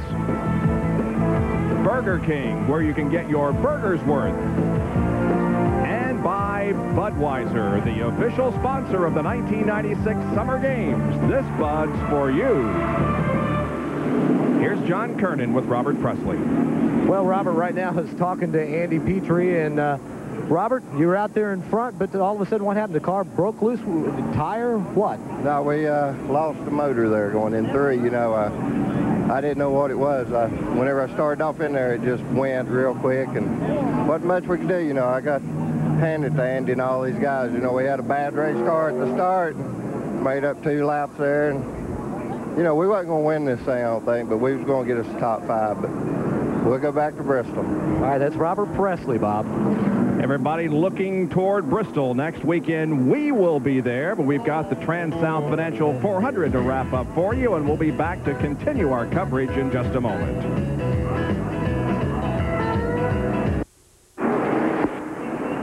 Pace car pulls off. I see it down there, David, but it's down on the light part. We'll open up the range. Cars off. Going green this time. Looks like a couple of these guys are going to try to get their lap back, so be on your toes.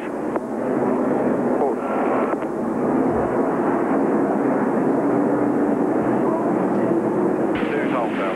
Get ready, Johnny. Get ready. Green, green flag, green flag.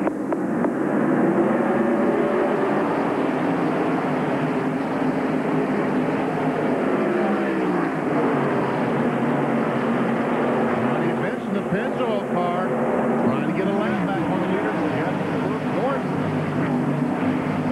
And right now, he has it. Man, I just don't know how these guys drive these cars so fast in this narrow racetrack.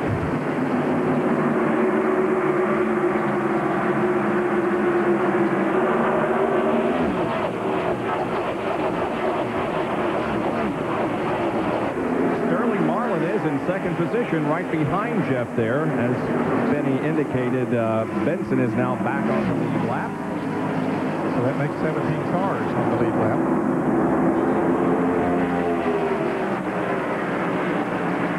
And don't forget, Sterling Marlin is among those pitting on the backstretch. So he's doing the best of those that are. We have a crash up in turn three. Wally Dallenbach has made contact with the wall up in the third corner and shedding some debris as he goes along, and the caution comes out once again. And Johnny Benson is going to try to race Gordon back and probably will get a lap back. There's Gordon at the end of the backstretch, and Benson is well up ahead of him, and Jeff is going to let him go ahead and pick up the lap. He's not even going to contest it. Now watch Elton Here's Sawyer. Elton Elton Sawyer. Sawyer's going to contest. He's going to try to get back in the lead, a, a lap back. Let's see where. And he's not going to do it. Yep. And he was only one lap down, so that would have got him back in the lap. He gave it a valiant effort, but didn't get the job done. Meanwhile, the right front of Wally Dallenbach's car is in bad shape. And again, smoke coming from the car, so he may have blown an engine or something to put moisture below, below the wheels. The car went, went in the wall uh, like he had a right front tire go flat. Hard to tell, but it, the car just abruptly turned right. This is our ninth caution of the day. We had 15 cautions in last year's race, and that set a record for Darlington. Dallenbach's Ford is limping toward his pit area and now back into the garage area.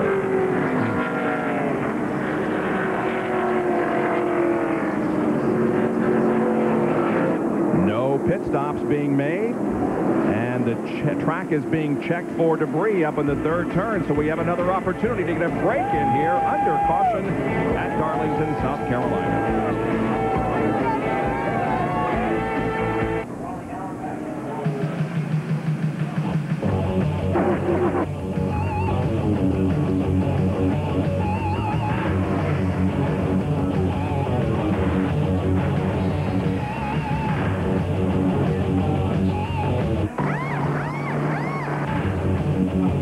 NASCAR on ESPN continues next weekend at Bristol, Tennessee, with qualifying on Friday at 9.30 the Goodies 250 at 2 o'clock next Saturday afternoon. NASCAR today at 12.30 Sunday. And then at 1 o'clock next Sunday afternoon, the Food City 500. And with the exception of Easter weekend, we will have a race for you now every Sunday afternoon through the 1st of May when we go to Sonoma. We are still under caution as debris is still being picked up on the racetrack. So again, we get in another commercial break.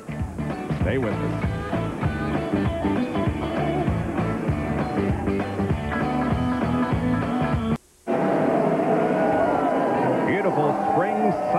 Afternoon in Darlington, South Carolina. And where are the people? They're right here enjoying this NASCAR Winston Cup race, the TranSouth Financial 400. And everybody has his favorite. There's a Dale Earnhardt fan.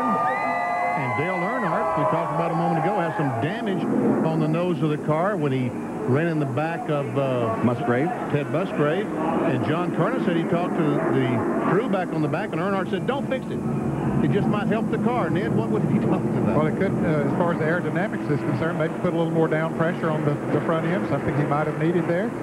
So, I mean, if the car is pushing and they get more downforce on the nose of the car, that will make the car looser. We'll listen for the restarts again. Okay, Steve, get ready. Going green this time. Get ready.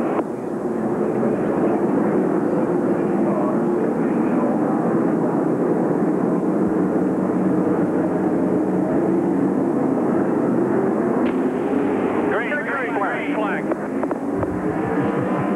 They all yell at me.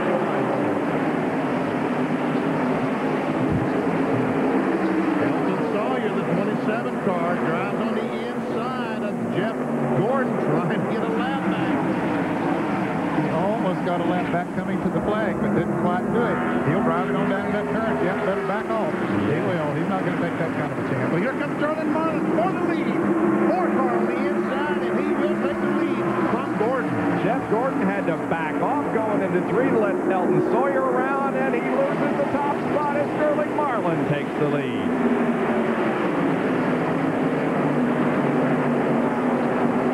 You is the first time Marlin has there today? I believe it is, Ned. Yes. Yep. So he got himself five bonus points. He becomes our ninth leader of the day. Here can we see Bobby Labonte going underneath Ricky Rudd. And Ricky is a lap down in 19th position. Your scoring pylon shows. Craven fourth, Bill Elliott fifth, and Dale Jarrett as now Sawyer goes a lap down, and Jeff Gordon comes along with Mark, uh, Sterling Marlin. There we see Elliott, he and 41 car Ricky Craven, and there's Dale Jarrett. Jarrett now in sixth spot. Once again, the line on our pylon is simply to divide the top five and the bottom five. Elliott is fifth, and Jarrett is sixth. So you can easier count down who's below fifth.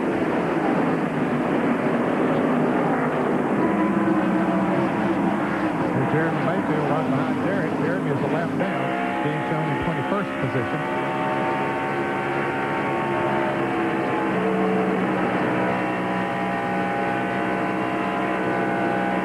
Everybody right now pretty much in single file formation. No side-by-side racing going on at the moment. There is Craven to the inside of Rudd. Morgan Shepherd went down to the inside of Ted Musgrave going into that turn. So Ernie Irvan going on the inside of the Texaco Havoline car. He made pit stops all during that last caution flag. So the defending champion of this race is out front, Sterling Marlin. Won here a year ago. He and Jeff Gordon are pulling away. Yep. And I got to say hello to Hetty Mae McClure, you know, Larry and all the McClure boys' mom. She broke her foot this week up in Abingdon, Virginia, and that's bad news for the boys. That means that she won't be fixing biscuits and gravy next weekend. Oh, boy, that is bad news. Hmm. Fram Field summary for you where your favorite driver is running at the moment. It'll show you that there are 17 cars on the lead lap. Johnny Benson, the last car on the lead lap. The battle for the front spot becomes a little bit closer as Gordon comes in on Marlin.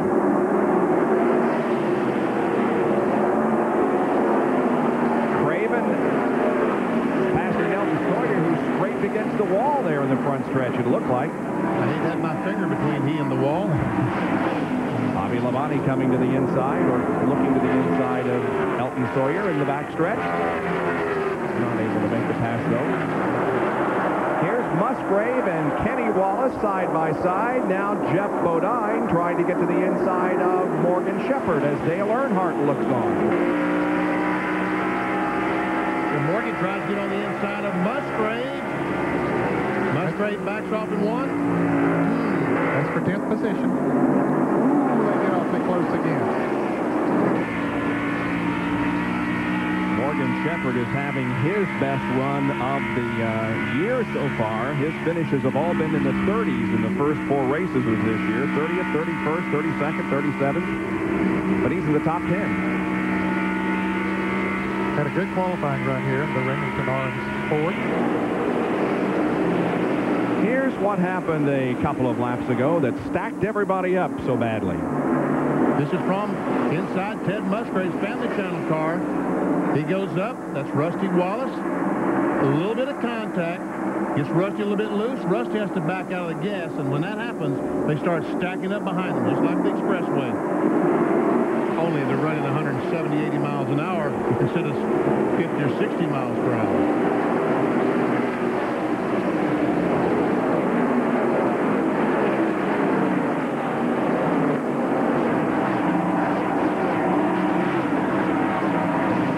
Ready, car.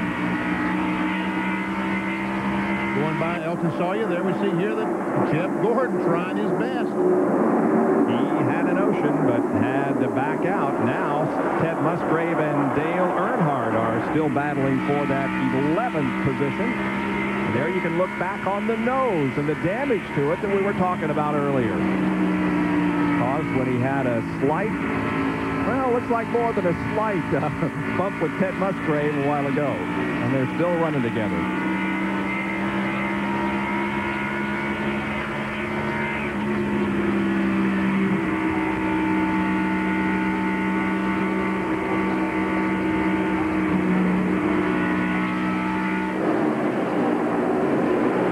Here we see Musgrave and Earnhardt.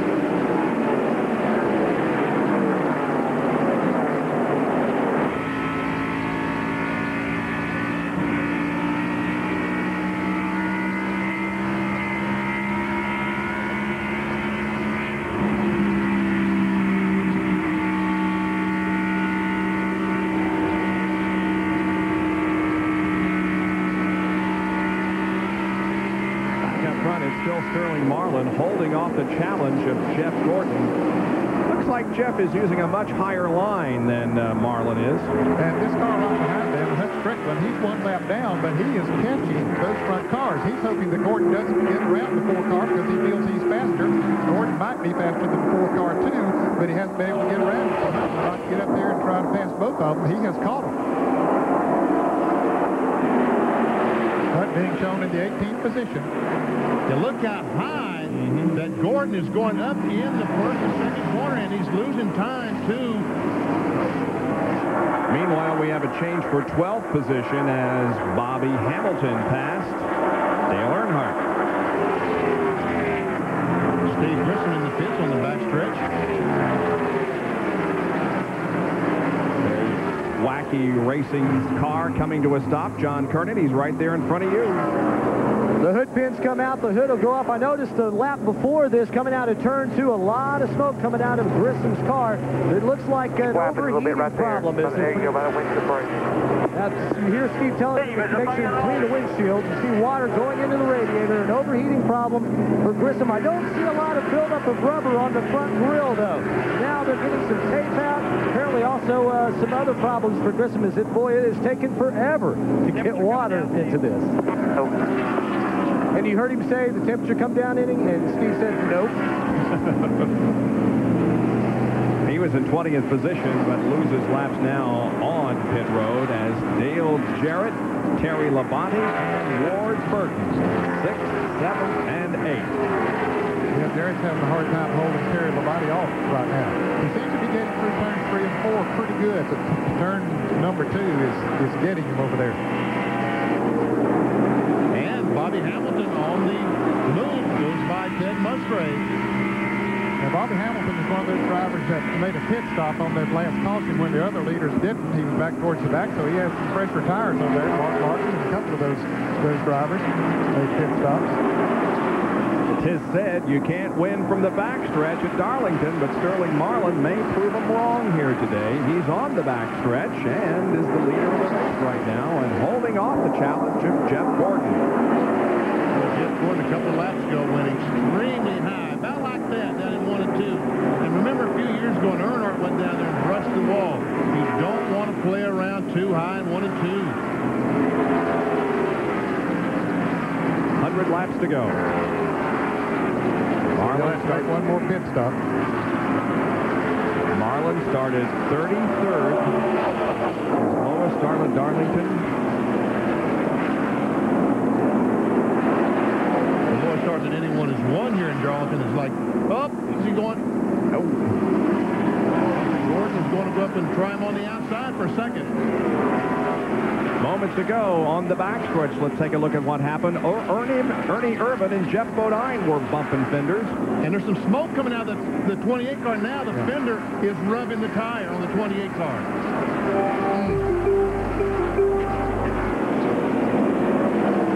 Ernie will have to be awfully careful. You see Terry Labonte, the Kellogg's car, right on the back bumper of Dale Jarrett.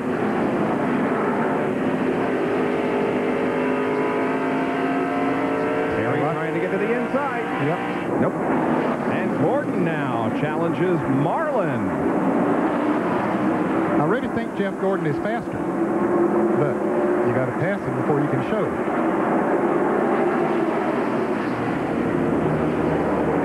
Darrell Waltrip still out there. Darrell is many, many laps down, 57 laps down, as a matter of fact, in 36th position. Man, oh man, looks like Gordon's going to match the wall. Now, once again, he tries to get on the inside. He may have a run. Yep, he's got it. Gordon comes to the lead. And Jerry has an update on Jeff Gordon, who's finally back up front, Jerry. Well, Bobby is, but the car has a terrible push in it. This asked Ray Evernham, why is he riding up at the very top of the racetrack? You see him down at turns one and two, maybe just a couple of feet at most from that outside retaining wall in a Darlington stripe. And Ray said, well, our car's such a bad push in it, he can keep from binding the car up by letting the car go all the way up across the racetrack. That keeps our speed up, but uh, we hope he doesn't bang off anything up there. Right now, the car just will not turn at all in the corner.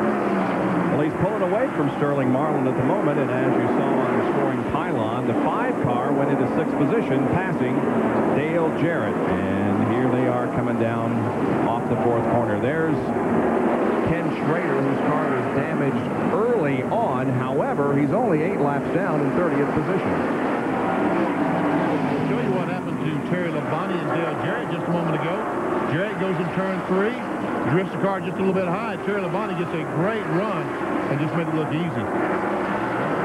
You see Jeff Burton back there in the 99 car, the car on the right side of your screen.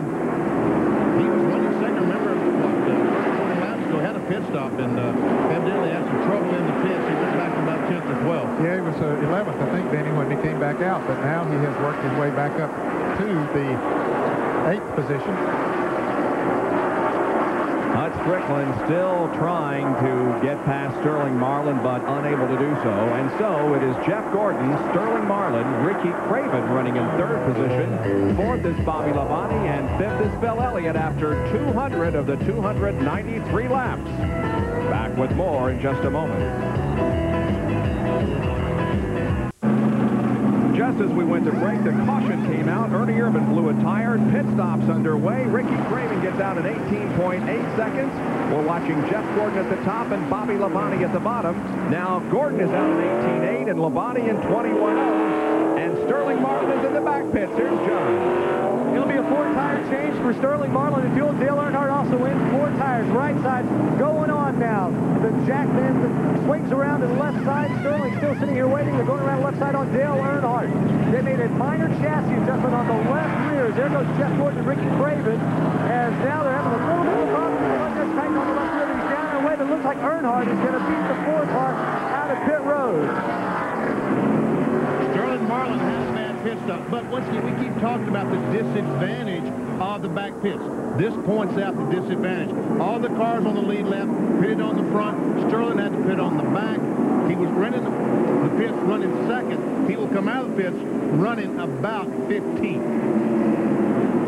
And there are the other cars that are on the back stretch, pitted on the back stretch, catching up to the lead line. And so that's where Dale Earnhardt, Sterling Marlin, and the others will fall into position. We'll take another break and be back with more in just a moment at Darlington.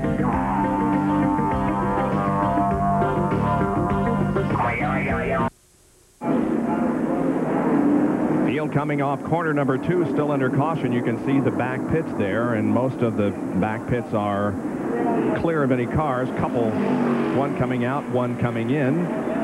Field getting relined for a restart. Joe, Nemec, Joe Nemechek beating the pace car as he goes out, exits pits on the back stretch. I'm sorry, go right ahead. I was just going to say the reason for this caution is because Ernie Irvan had a problem uh, resulting in a tire going down, and uh, John Kernan is standing by with him. Well, what a disappointed person this must be. Ernie, you guys fought your way. You were having a great run, and then a little bit of a problem, uh, fender rubbing on the, the tire. Is that what finally happened? The tire blew? Yeah, yeah. I got in, uh, touched the seven car uh, one time coming off turn two, and um, my fender started rubbing. And uh, hey, you know, we we we knew it picked up a push, but um, just hadn't hadn't actually committed to coming in yet. What? Now, Ernie, what happened in the the earlier incident?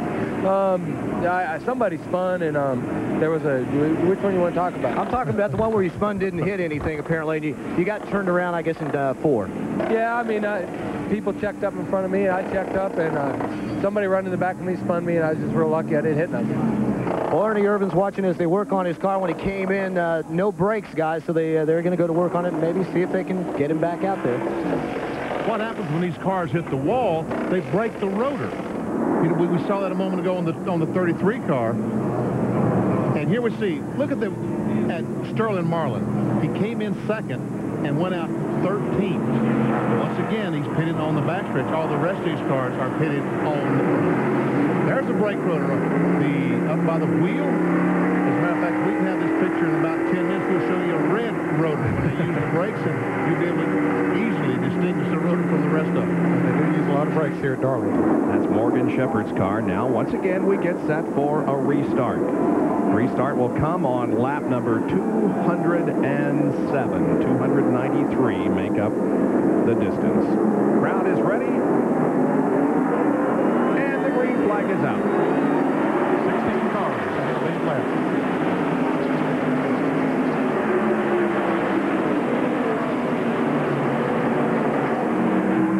Ricky Craven's crew had a tremendous pit stop that last time in the Kodiak pits. Ricky is running in second position, the only driver in the top 10 in points with fewer than 10 starts here at Darlington.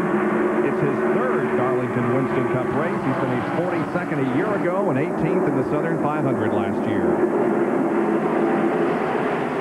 Bill Elliott running third, Lynn Labonte and Bobby Labonte. Terry Labonte and Bobby Labonte.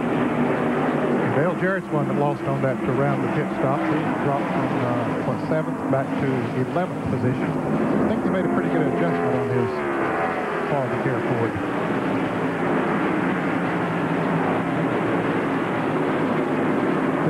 Jeremy made yeah. I hear it was here Stricklin won, who went very high in the turn. You see Rusty Wallace and his brother Kenny Wallace side by side. They're trying to catch up to the leaders. Ted Musgrave also right there with him on top of Ted's car now, looking ahead to Rusty. Here's Dale Earnhardt and Mark Martin running nose to tail as they go by Brett Bodine, or try to. And Earnhardt backs off. Brett gets up out of the way and lets him go on then. Mark is 11th, Dale is 12th. There's Jeff Burton, who is 13th. Yeah, Dale Jarrett got around Mark Martin the last lap, and here is Terry Labonte getting around Bill Elliott. That's the change of position for third. And here comes Bobby Labonte. He's alongside Bill Elliott. We might put another Labonte in the top five. We do. Elliott back to fifth.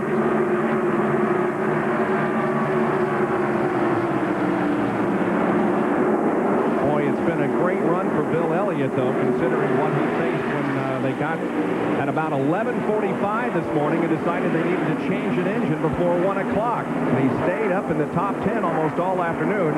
Now begins to fade just a little bit as Jeff Burton has passed Dale Earnhardt to take up, take up the uh, 12th position. Then to get by Rusty Wallace puts him in the sixth spot. Rusty seventh, Morgan Shepherd eighth, Hamilton is ninth, and Dale Jarrett is now tenth.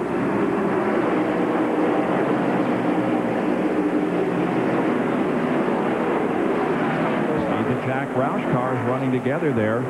Still, they've been running together almost all afternoon, it seems. Martin and Musgrave. And now Jeff Burton.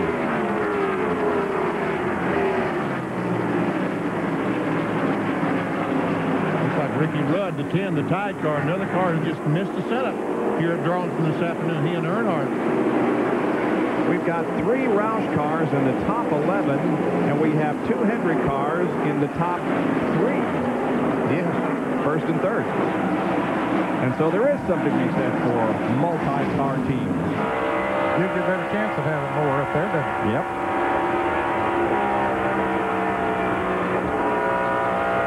Mark Martin looks back once again at his teammate. That is Jeff Burton, the Exide battery car, directly behind him.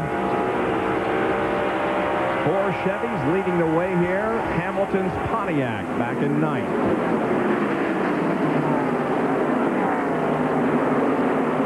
And Hut Stricklin lets Mark Martin go. Now we see if Jeff Burton can get alongside. He can.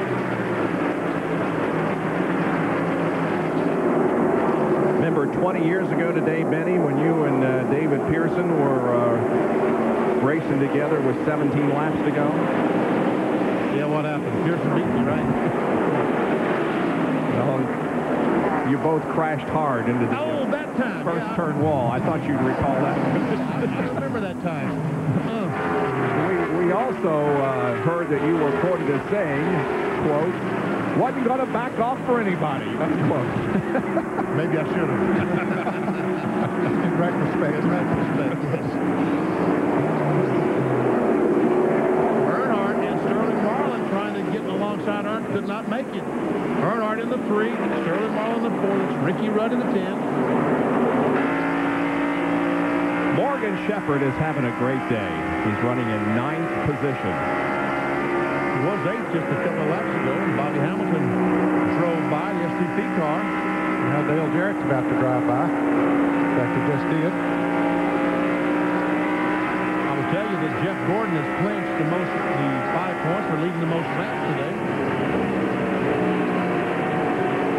And he's just pulling away right now, folks. That's the reason we're not on him. There's much better action going on back in the pack. Again, the Wallace brothers are running together. Rusty leading Kenny. Of course, Kenny's a lap down. He's being shown in the 18th position. One lap down. Rusty in 7th position.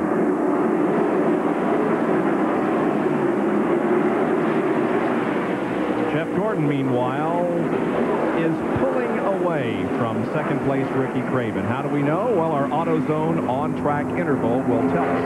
We timed laps 212 through 216. On lap 212, Gordon had a one-second advantage on Ricky, and it's doubled, more than doubled, to 2.1 on lap 216, and Joe Nemechek has crashed. Over in turn two, he's in the wall and backed in the fence with the left rear.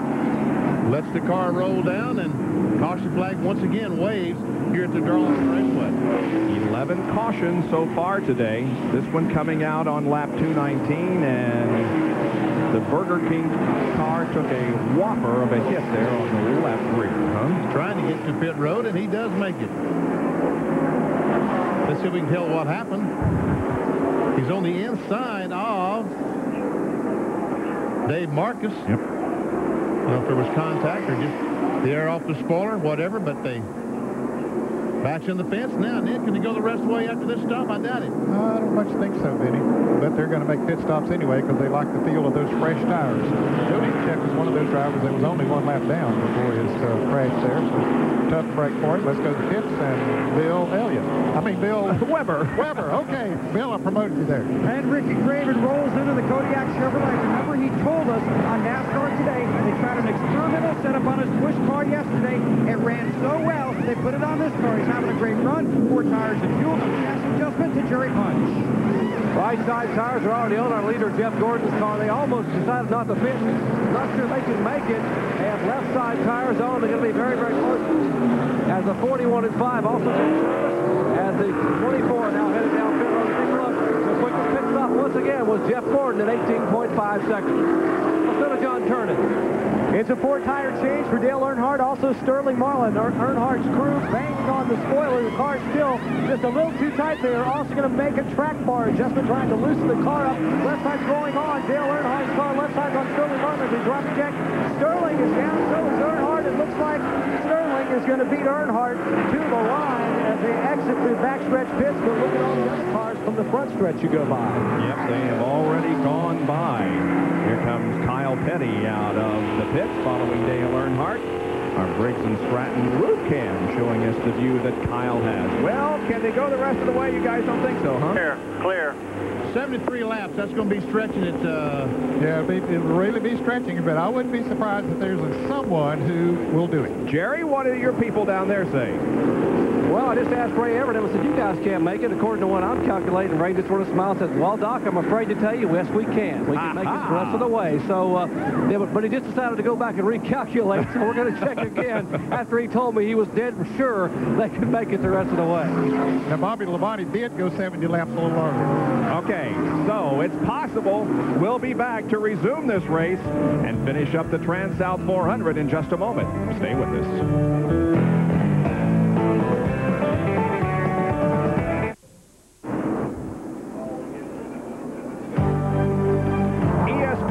World coverage of the TranSouth Financial 400 is being brought to you by Quaker State, the motor oil that exceeds the highest standards for engine protection. By Firestone, America's tire since 1900. And by Craftsman, a line of 2,200 hand tools made in America, guaranteed forever, only at Sears. Well, we're going to go green next time, I guess, huh? Yep, they got that one lap signal, so they start the double file restart. And get up there to in double file for the restart. Don't you love these Sunday afternoons when you're trying to figure out with about 70 laps to go who's going to win, who can make it the rest of the way, who's got to stop. I can't think of a better way to spend a Sunday. Neither can I. We're going to turn off the radios here and... Uh, Don't let us up there, Tom. I tell you the wrong thing, was it? No, sir. Rodney would not tell me wrong. Get there and follow him, okay? Because eight cars in front of the 24 car. That's going to Noel is sharp today, ain't he? Yes, sir. Yes, sir. All right, driver. Remember, pass the car right. off. Good, good track here. Trying to make up for that first green flag restart. I noticed that one, Doyle. when he dropped the flag. I'll flag. give you enough, okay. Literally dropped the flag. Doyle Ford talking about trying to make up for dropping the green flag. Now there's that Stricklin. He's right in front of Jeff See, when Gordon. you get to the end of pit road, go, go, go. Green flag. Green now. Off there behind. Right at the tail end of the lead lap. Ain't going to be long. Well,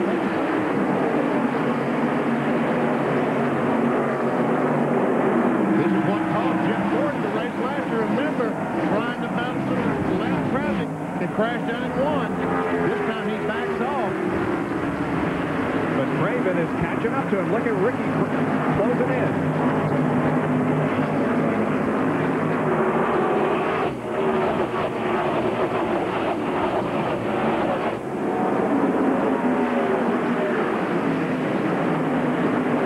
Some smoke coming out of that eight car. I saw some smoke as he went down in the corner. It might have been when he touched the brakes. The car dipped on the nose, and the tires hit the fender. But Jeff Gordon is alongside.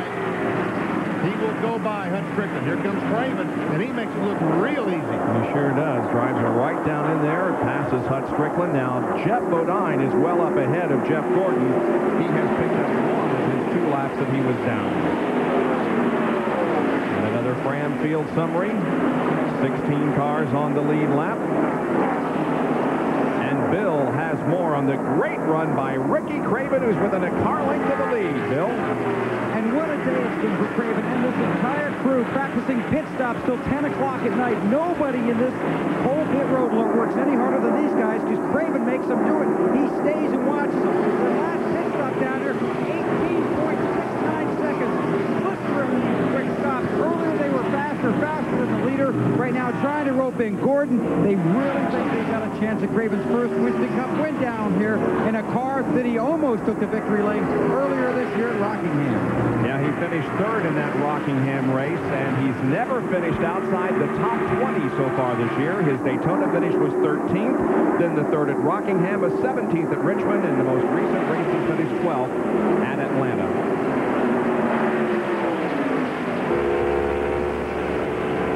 Kyle Petty was a lap down, but he's back on the lead lap now, and in fact, in 15th position. Yeah, he got uh, back in the on the lead lap when Robert Pressley had his problems. He was running out in front of Robert, and uh, so he got back to the lead lap, having a good run. Trying to take 14 from Earnhardt. Just blew Earnhardt away, going out in turn three, but here comes Earnhardt trying to come back. He said, okay, Kyle, I'll cut you some slack this time. Good job, Good job. Let's get some more of them. Cheerleaders. Yep. Here's Ted Musgrave to the inside of Terry Labonte, and Musgrave goes to fifth. How about that? Evidently, Terry Labonte's tires not matched up exactly right this time. Or either they made some adjustments on Musgrave, and he's taking off. Here's Dale Jarrett coming up on Terry Labonte. Yeah, Labonte's got some problems, Yeah, Ned. I think you're right. Dan. Jarrett blows him away there in the fourth turn. That was for the sixth position. Mm-hmm.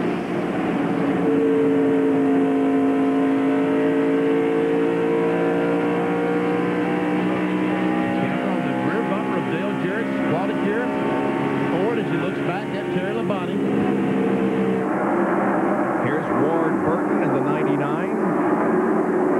Morgan Shepherd coming to the inside of him and taking the spot away.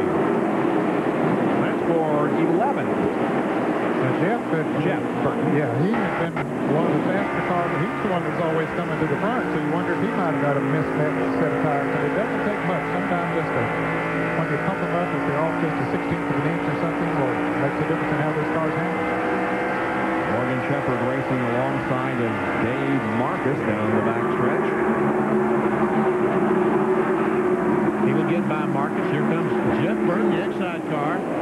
He will get by Dave Marcis. His teammate Mark Martin on now, along with Kyle Petty and Dale Earnhardt. And Kyle's trying to do exactly what his spotter told him. Get some more. Yeah, they Go like get that. those guys. Looking back from Mark Martin's bumper cam.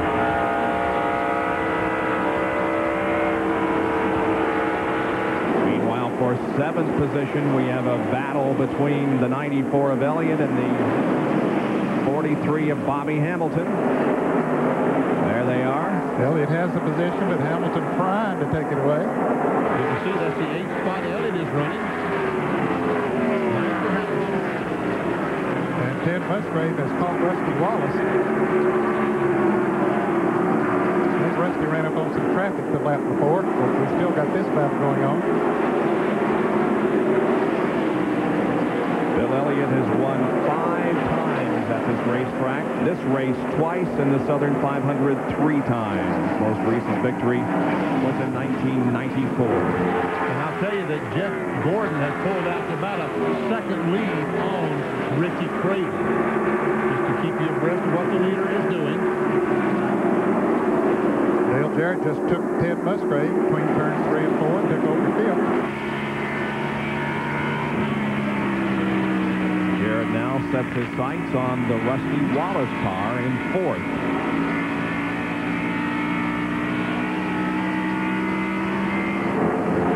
Here is Jeff Burton inside of Morgan Shepherd, and there's passing going on everywhere.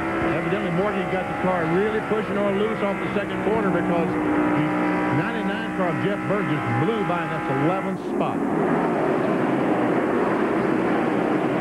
Well, we're getting close to the end of the race. If you have anything left, it's time to do it now.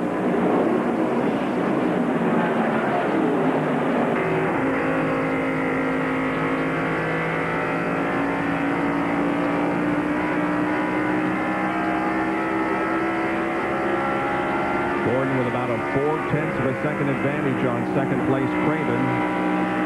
Well, it hasn't the distance between Gordon and Craven hasn't lessened. I guess I just was a little optimistic with that second lead a moment ago. About 5.4 seconds between first and fifth. Hey, there's that camera, Benny. There's the brake rotor, the red thing. It's the brake rotor. When he goes in the corner, now he comes off the and accelerates down the straightaway. We see it cools off. Now he'll brake about right here to get in the corner, and the rotor will turn cherry red. Martinsville, those things will stay red all the time, but here you have enough of the straightaway that they cool off for a few seconds.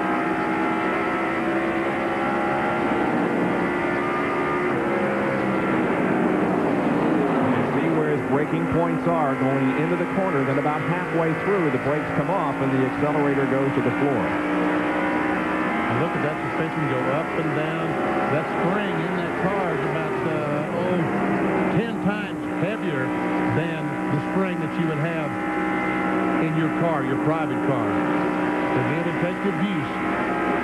And, and the shock absorbers will even get some abuse, too. They keep it from bouncing more. And this is a very smooth racetrack. It was just repaved prior to last year. And looky here, Michael Waltrip, some traffic, and Ricky Craven is gaining on Jeff Gordon. Riding with Michael Waltrip, who is in 30th position, 12 laps down after an incident early in the race. There's the separation between first and second. It's just a matter of car lengths. Ricky Craven, last year's Rookie of the Year, has never won. Jeff Gordon is the leader, and here is Sterling Marlin going for another position, passing Bill Elliott. And Jeff Burton also goes alongside Elliott by Bill Elliott. Eighth, ninth, and tenth there. Marlin now eighth, Jeff Burton ninth, and Bill Elliott is tenth. And Bill Elliott's car is definitely not running as good as it was earlier. He's, he's dropping back. He's just uh, having some sort of a little bit of a handling problem. And uh, there's a slower car up there in front of Jeff.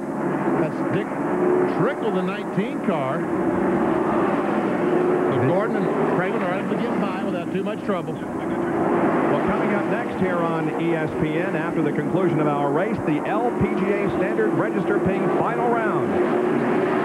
Defending champion Laura Davies showed her power on the course by leading the tournament in the first round through the final one. And you'll see the end of this year's coming up right after our coverage from Phoenix, Arizona.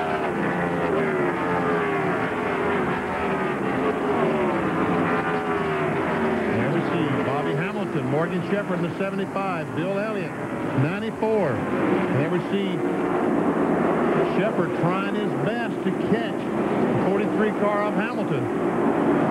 10th and 11th. Hamilton is 10th. Shepherd is 11th. Schrader moves over, lets both of them go by. And so the battles are everywhere on the racetrack, but at the moment it's Jeff Gordon leading over Ricky Craven, Bobby Labonte, Dale Jarrett, and Rusty Wallace.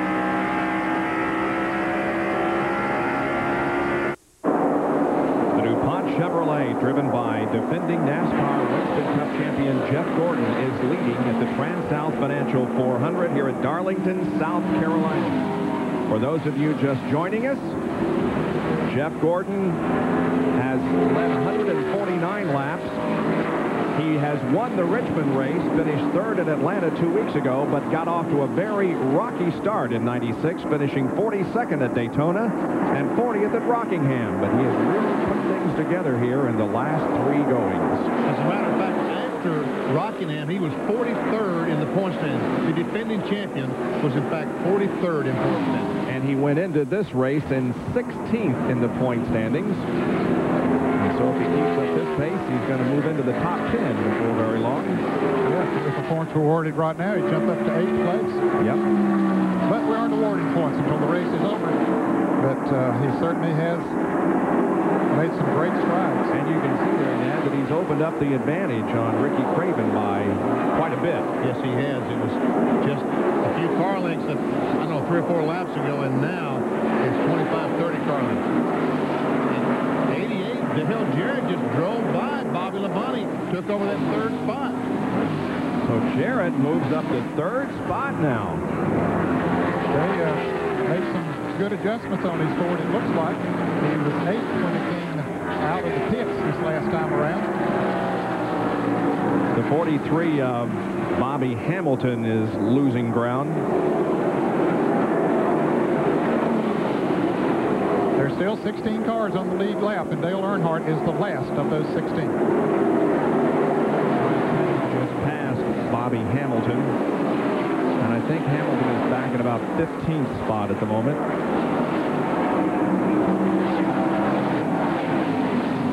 Now, the only question is how many of these cars have to stop for fuel?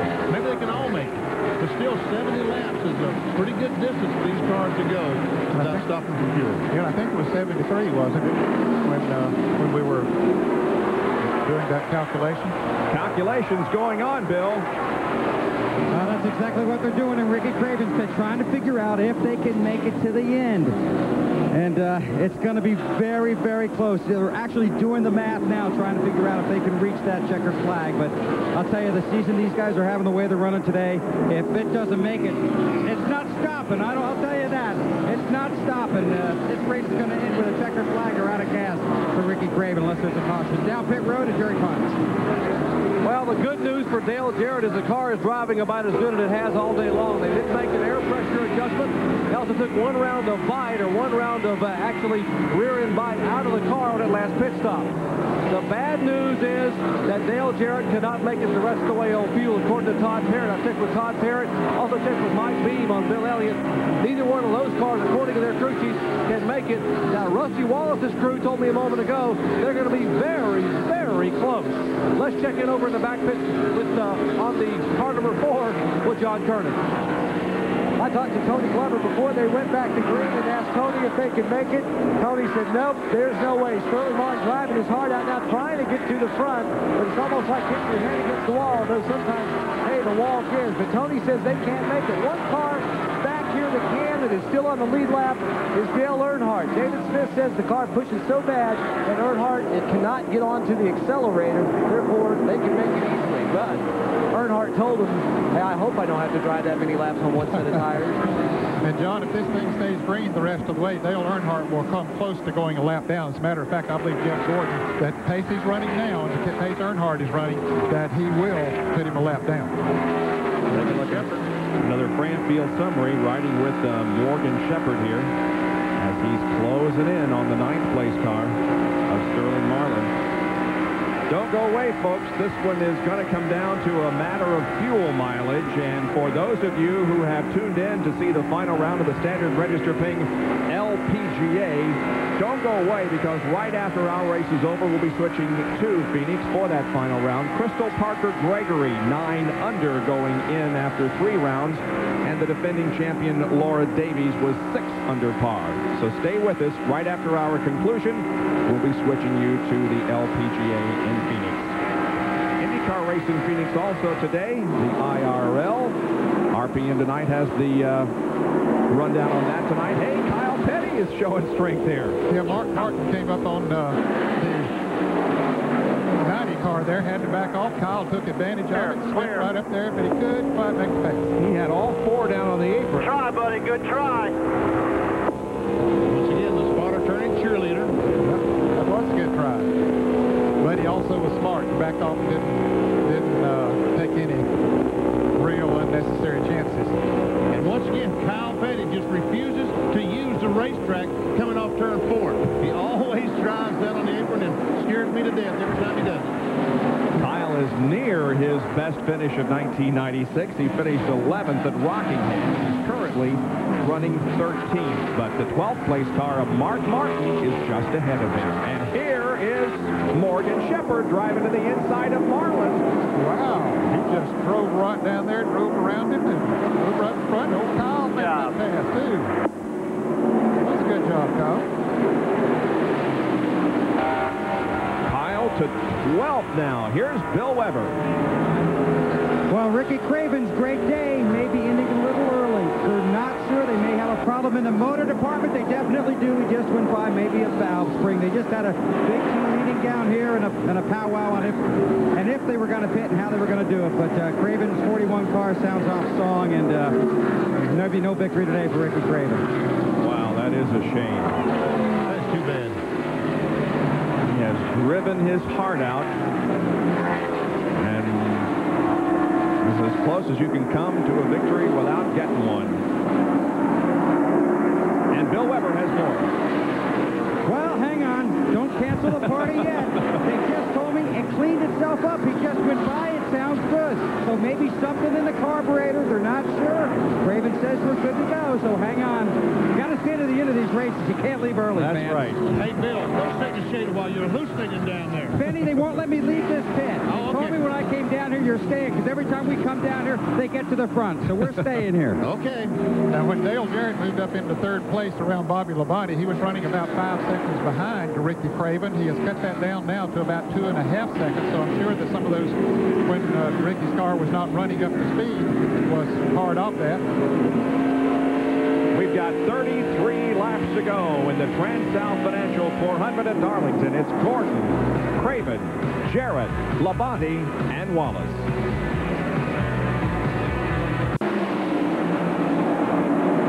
Jeff Gordon continues to lead here at Darlington as laps continue to wind down. NASCAR online at www.nascar.com will bring you the same real-time electronic timing and scoring that Winston Cup Series officials use to monitor the races. You can even send them some email and tell them what's on your mind. NASCAR online, www.nascar.com. Uh, has had a very good afternoon after starting, uh, well, he didn't start completely last, but he was the slowest qualifier to make the field. Everybody else took provisional. Started 30, and he still is in the lead lap. And he was a lap down one time, and he got back in the lead lap by outrunning the leaders back to a caution. So he's done a great job. 16th right now.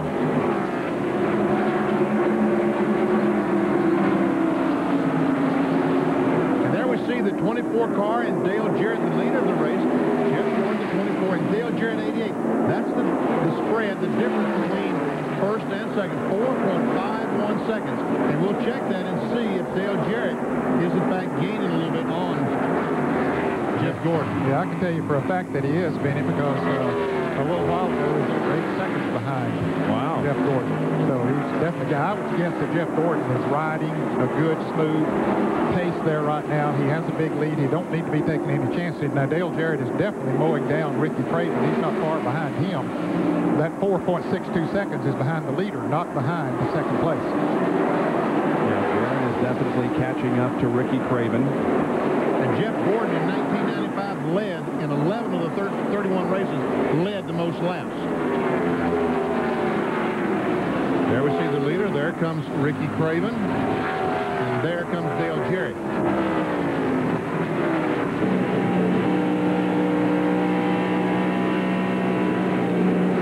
But as Jerry Punch says, Dale Jarrett can't make it on gas. That's going to be the uh, problem for many drivers, perhaps. Yeah, you better hope that nobody else can either.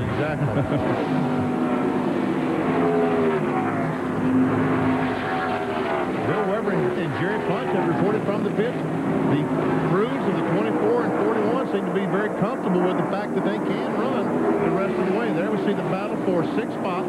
16, Ted Musgrave is sixth. The seventh place car is Terry Labonte, the Kellogg's car, number five. And right behind them is the 99 car of Jeff Burton. So sixth, seventh, and eighth right there. But now look, here is how close Dale Jarrett is on the right of your screen to Ricky Craven for second position.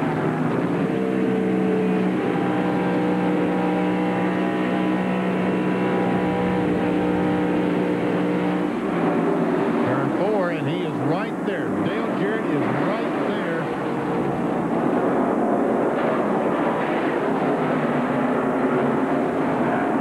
And Jeff Gordon, I'm sure, is hoping that Ricky Craven will hold Dale Jarrett up. just a little bit, long enough to give him some breathing room.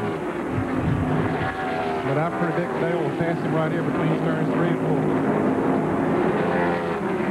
And Musgrave and Labonte are still battling. Now, he didn't get it Well, done there, didn't Ned. it Is he going to do it here? I think that's where he will make the pass. Maybe this coming lap, huh? Well, maybe not. What I know.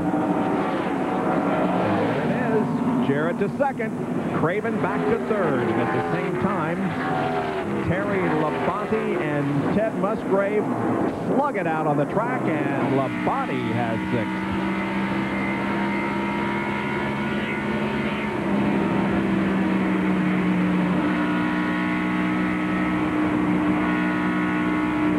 22 laps to go.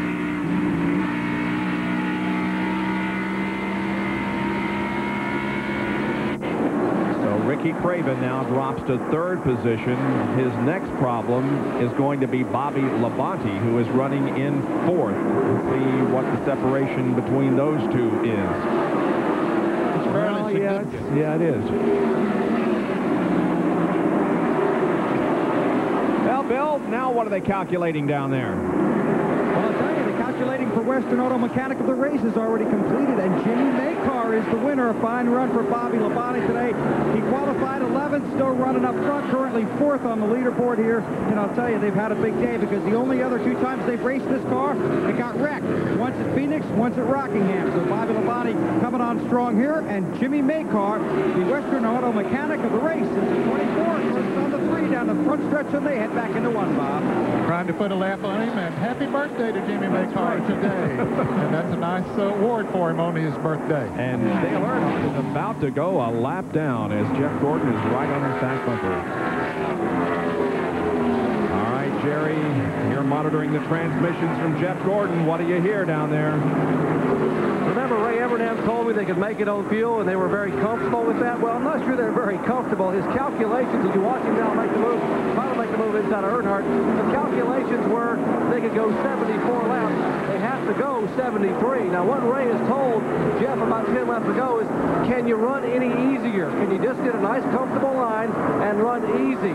The 88 car's coming, but I don't think the 88 car can make it. And Jeff said, if I run any easier, I'm going to smack the wall. This car is the most comfortable when I run it in the corner hard. Hmm, okay. Yeah, you can't run it much easier because that 88 car is coming. That is right. And here is Gordon now indeed putting a lap on 16th place, Dale Earnhardt. And Morgan Shepherd has picked up to seventh spot.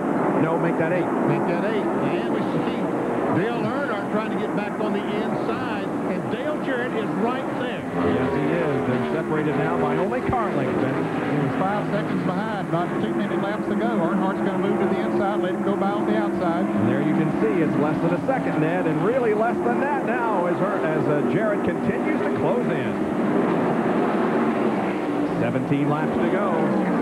Maybe they Wishful thinking. And as hard as he's been driving that Ford, you know that he's using a lot of fuel. And the 99 car is coming to pit road. Jeff Burton could make it. He's on pit road. So is this the first of many? He relinquishes 10th position to make a final splash and go. Oh, maybe some tire. Yeah, tires Yeah. on the right side. I'd say this far back, they'll definitely put at least right side tires on. Now, if you get within the last 10 laps, they probably would only take fuel off. Hey, they're going all four. All four tires. Wow. Now, they're thinking the best thing that could happen, of course, if they go a lap down, I start to say the best thing could happen if they could get a caution flag, they'd have new tires and everybody else would have to pit. But, mm-hmm. but they're going to go a lap down, so that wouldn't really play. Within just one or two car lengths, and Bobby Hamilton goes a lap down. Let's look at Dale Jarrett here in the fourth corner. Gets down on the apron. Onto the straightaway at the line. Ford has him, but uh, boy, Dale is right there knocking on the door. Gordon goes a little high. Here comes Jarrett down a little low. But he can't do it there. Coming up on some heavy traffic. Lake Speed directly in front of Jeff Gordon. Lake goes up the hill. Here comes Jarrett on the inside. He'll slow run by. Yes, Dale Jarrett has passed Jeff Gordon in the fourth corner and taken the lead with 14 laps to go. That car can manufacture a gallon of gas imagine. He's got to he's got to be using a lot of gas. But still, is directly in front of him and they're still jammed up in some heavy traffic. Brett Bodine on the bottom, the Lowe's Home Improvement Warehouse. His car is blown up. He's been black flagged by NASCAR. Lake Speed moves up and lets the leaders go by. Yep, he sure does.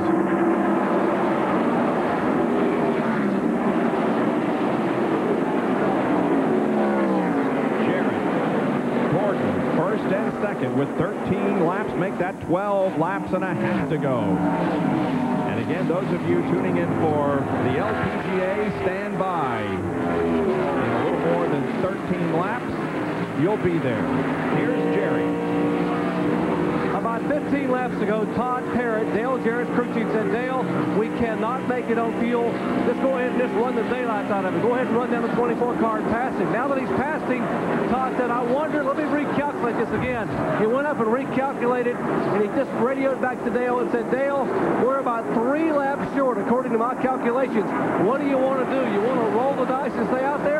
Think about it, and let me know in just a minute. oh, you got to do it. You're going to get that close. You got to roll the dice. Yep. There, Johnny Benson goes a lap down. He's 13. I'd tell him to go for it if it were me. Would you? Yeah, yeah, I'd say go for it. Spoken like a true father. Yeah. I tried it in 1993 Daytona 500 when it Ford came up two laps short. you got to do it. You got to go. More than 10 laps to go now. Separation between first and second just a little. And Bobby Labonte has caught the Ricky Craven car. They're for third. There they are. Craven in the 41 car left of your screen. Bobby Labonte in the Interstate Battery Chevrolet. Is fourth.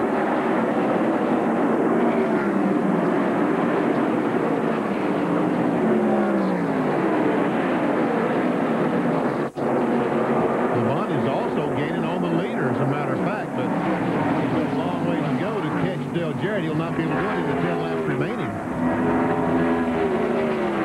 And once again, we never know the leaders might be just trying their best to make to manufacture one gallon of gas somehow, some way.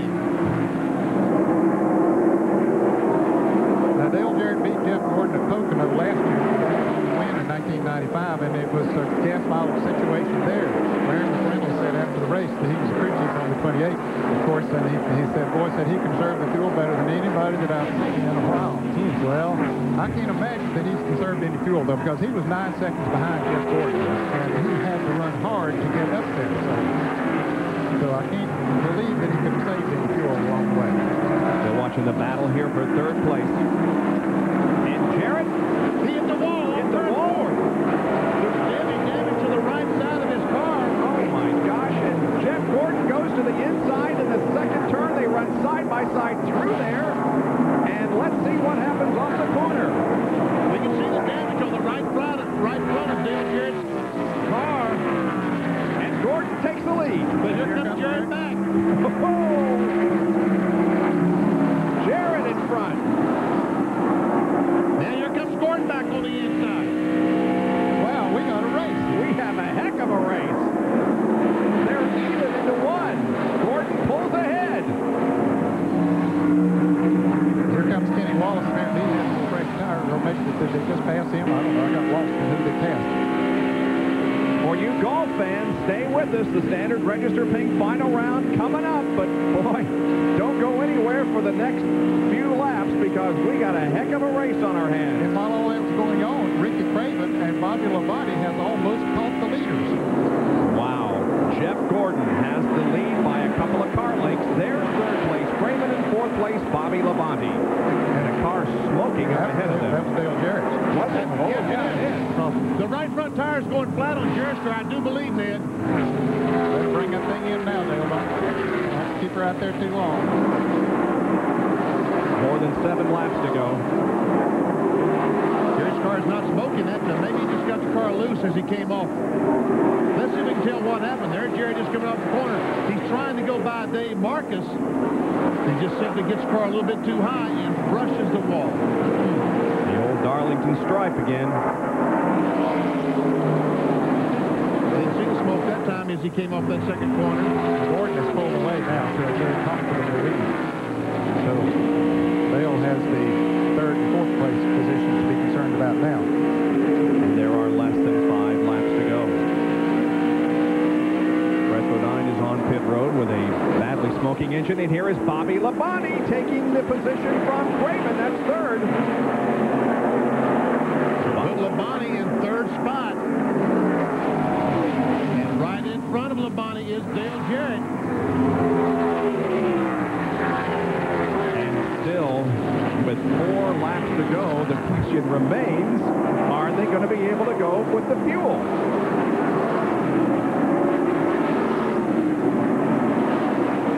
Bobby Labonte closing in on Dale Jarrett for second place.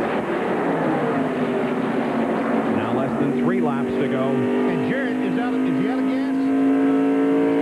He's certainly not fast as you come off the second corner. Labonte dives to the inside. Still doesn't have enough to get by. No Brooks. Now he'll have enough to get by. Yep, Labonte takes second spot from Jarrett. There's Ricky Craven now closing in on Dale. And Jarrett's car, I think, is out of gas now. I think he is too. Wow. I believe it ran out of gas coming off the second corner and caught back up. But just two laps ago, they had it figured pretty close. Yep. Awfully close. And we understand that Johnny is also out of fuel. In one and two, he's trying to get to the back pits, and Bill Jarrett is trying to get to the front pits. But meanwhile, does Jeff Gordon have enough fuel to make it to Ruston? And Bill Elliott is coming in. Here's the white flag for Jeff Gordon. Less than a lap to go for Jeff. There's Bill Elliott in the pit stop. This will be a quick splash and go. We'll watch Jeff and see if that DuPont Chevrolet stays running until the checkered flag drops. He's got a half a lap to go. Earnhardt's out of gas. Earnhardt also out of gas. 43 cars out of gas. Bobby Hamilton, everybody running out of gas right here. Does Jeff Gordon have enough? Is Jeff going to make it? Here he comes off the fourth corner. He is going to make it. Jeff Gordon wins the TranSouth Financial 400, his second consecutive victory Darlington, and his 11th career win, ninth on a super speedway. We'll have Bobby Labonte in second place and Ricky Craven third. Rusty Wallace in fourth. Terry Labonte fifth. Ted Musgrave unofficially in sixth position. Well, we'll find out just how much fuel he had. He had enough to win it. Jeff Gordon was the winner. We'll be back in just a moment.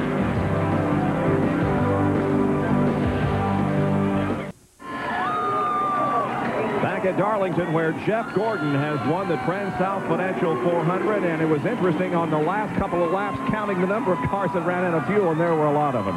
There were about five or six cars that ran out of gas there on the last couple of laps. Jeff Gordon finding his way to victory lane. And once again, we remind you the final round of the LPGA Standard Register Ping coming up from Phoenix, Arizona in just a moment. Bobby Hamilton was one of those who ran out of gas and uh, looks like he's not going to be able to make it. His car is almost stopped at the entrance to the pit area. And the seven car of Geoff Bodine blew a tire right at the finish line. And uh, as you can see, it's uh, torn up some body on the front end of that car, the right front. He crossed the start-finish line, took the checkered flag, and the right front tire blew all at the same time. Jerry Punch in our McDonald's Winner's Circle interview.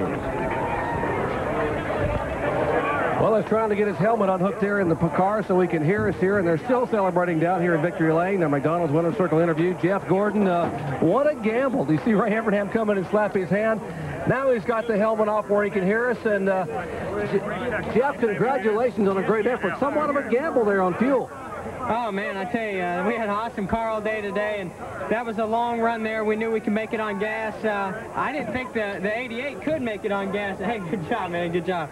And so, uh, you know, we, we did gamble, but this car worked so good that I, I kept driving it too hard, and uh, I kind of wore my tires out there at the end, and, and Dale gave us a, a real fight, and when he got by me, I, I thought, you know, if they can go all the way, it was pretty much over, but, uh, you know, it looked like uh, uh, I, would, I could stay with him. I didn't know if I could beat him, but he got in the wall there a little bit around the lap car, and, uh, you know, I fought him from there on out. But uh, got to really thank DuPont Automotive Finishes. Goodyear had a, a great tire today. Quaker State Motor Oil, this their second win uh, this year, so we're uh, we're real happy, we're proud, and uh, got to thank God. He was, he was certainly with me today. Jeff, a handful of cars ran out of fuel in that last lap, including Dale Earnhardt. How much do you think you had left? I mean, Evernham said it was going to be very, very close. Well, those guys are pretty accurate. Uh, you know, when uh, when they tell me something, I believe in them, and uh, I, I never saved fuel one time. I mean, I ran it as hard as I could. I had to save my tires more than anything. So uh, I don't know. I bet it's pretty close. If they say it's close, that means it's close. But uh, you know, that's that's what wins races. A great team like this, they can gamble. They can uh, make close calls like that great pit stops all day long. I mean, consistency was there, and uh, this, this is a great day. We're real, real proud of, uh, of everybody involved, and it's great to be in Victory Lane in Darlington, man. This is wonderful. And the 1995 Series champ gets his second win here in 1996. He won at Richmond. Now he wins at the track too tough to tame. Bob? Take a look at the unofficial results. You will see that there were seven cars on the lead lap, but a lot of these standings changed just in the last couple of laps when several cars ran out of fuel. There we see Dale Jarrett back in 12th spot. As we go back through the top 30, and finally, the remainder of the field as only about uh, nine cars uh, were out of competition when the checkered flag dropped. Well, Jeff Gordon now ninth in the points. We'll be back next week for more NASCAR Winston Cup racing at Bristol International Raceway in Tennessee. We take a look at the quest for the Cup standings. Remind you to stay tuned now for LPGA Golf coming up next from Phoenix, Arizona. For Jerry, Bill, John, Ned, and Benny, this is Bob Jenkins. So long, everyone. Now to Joel Myers.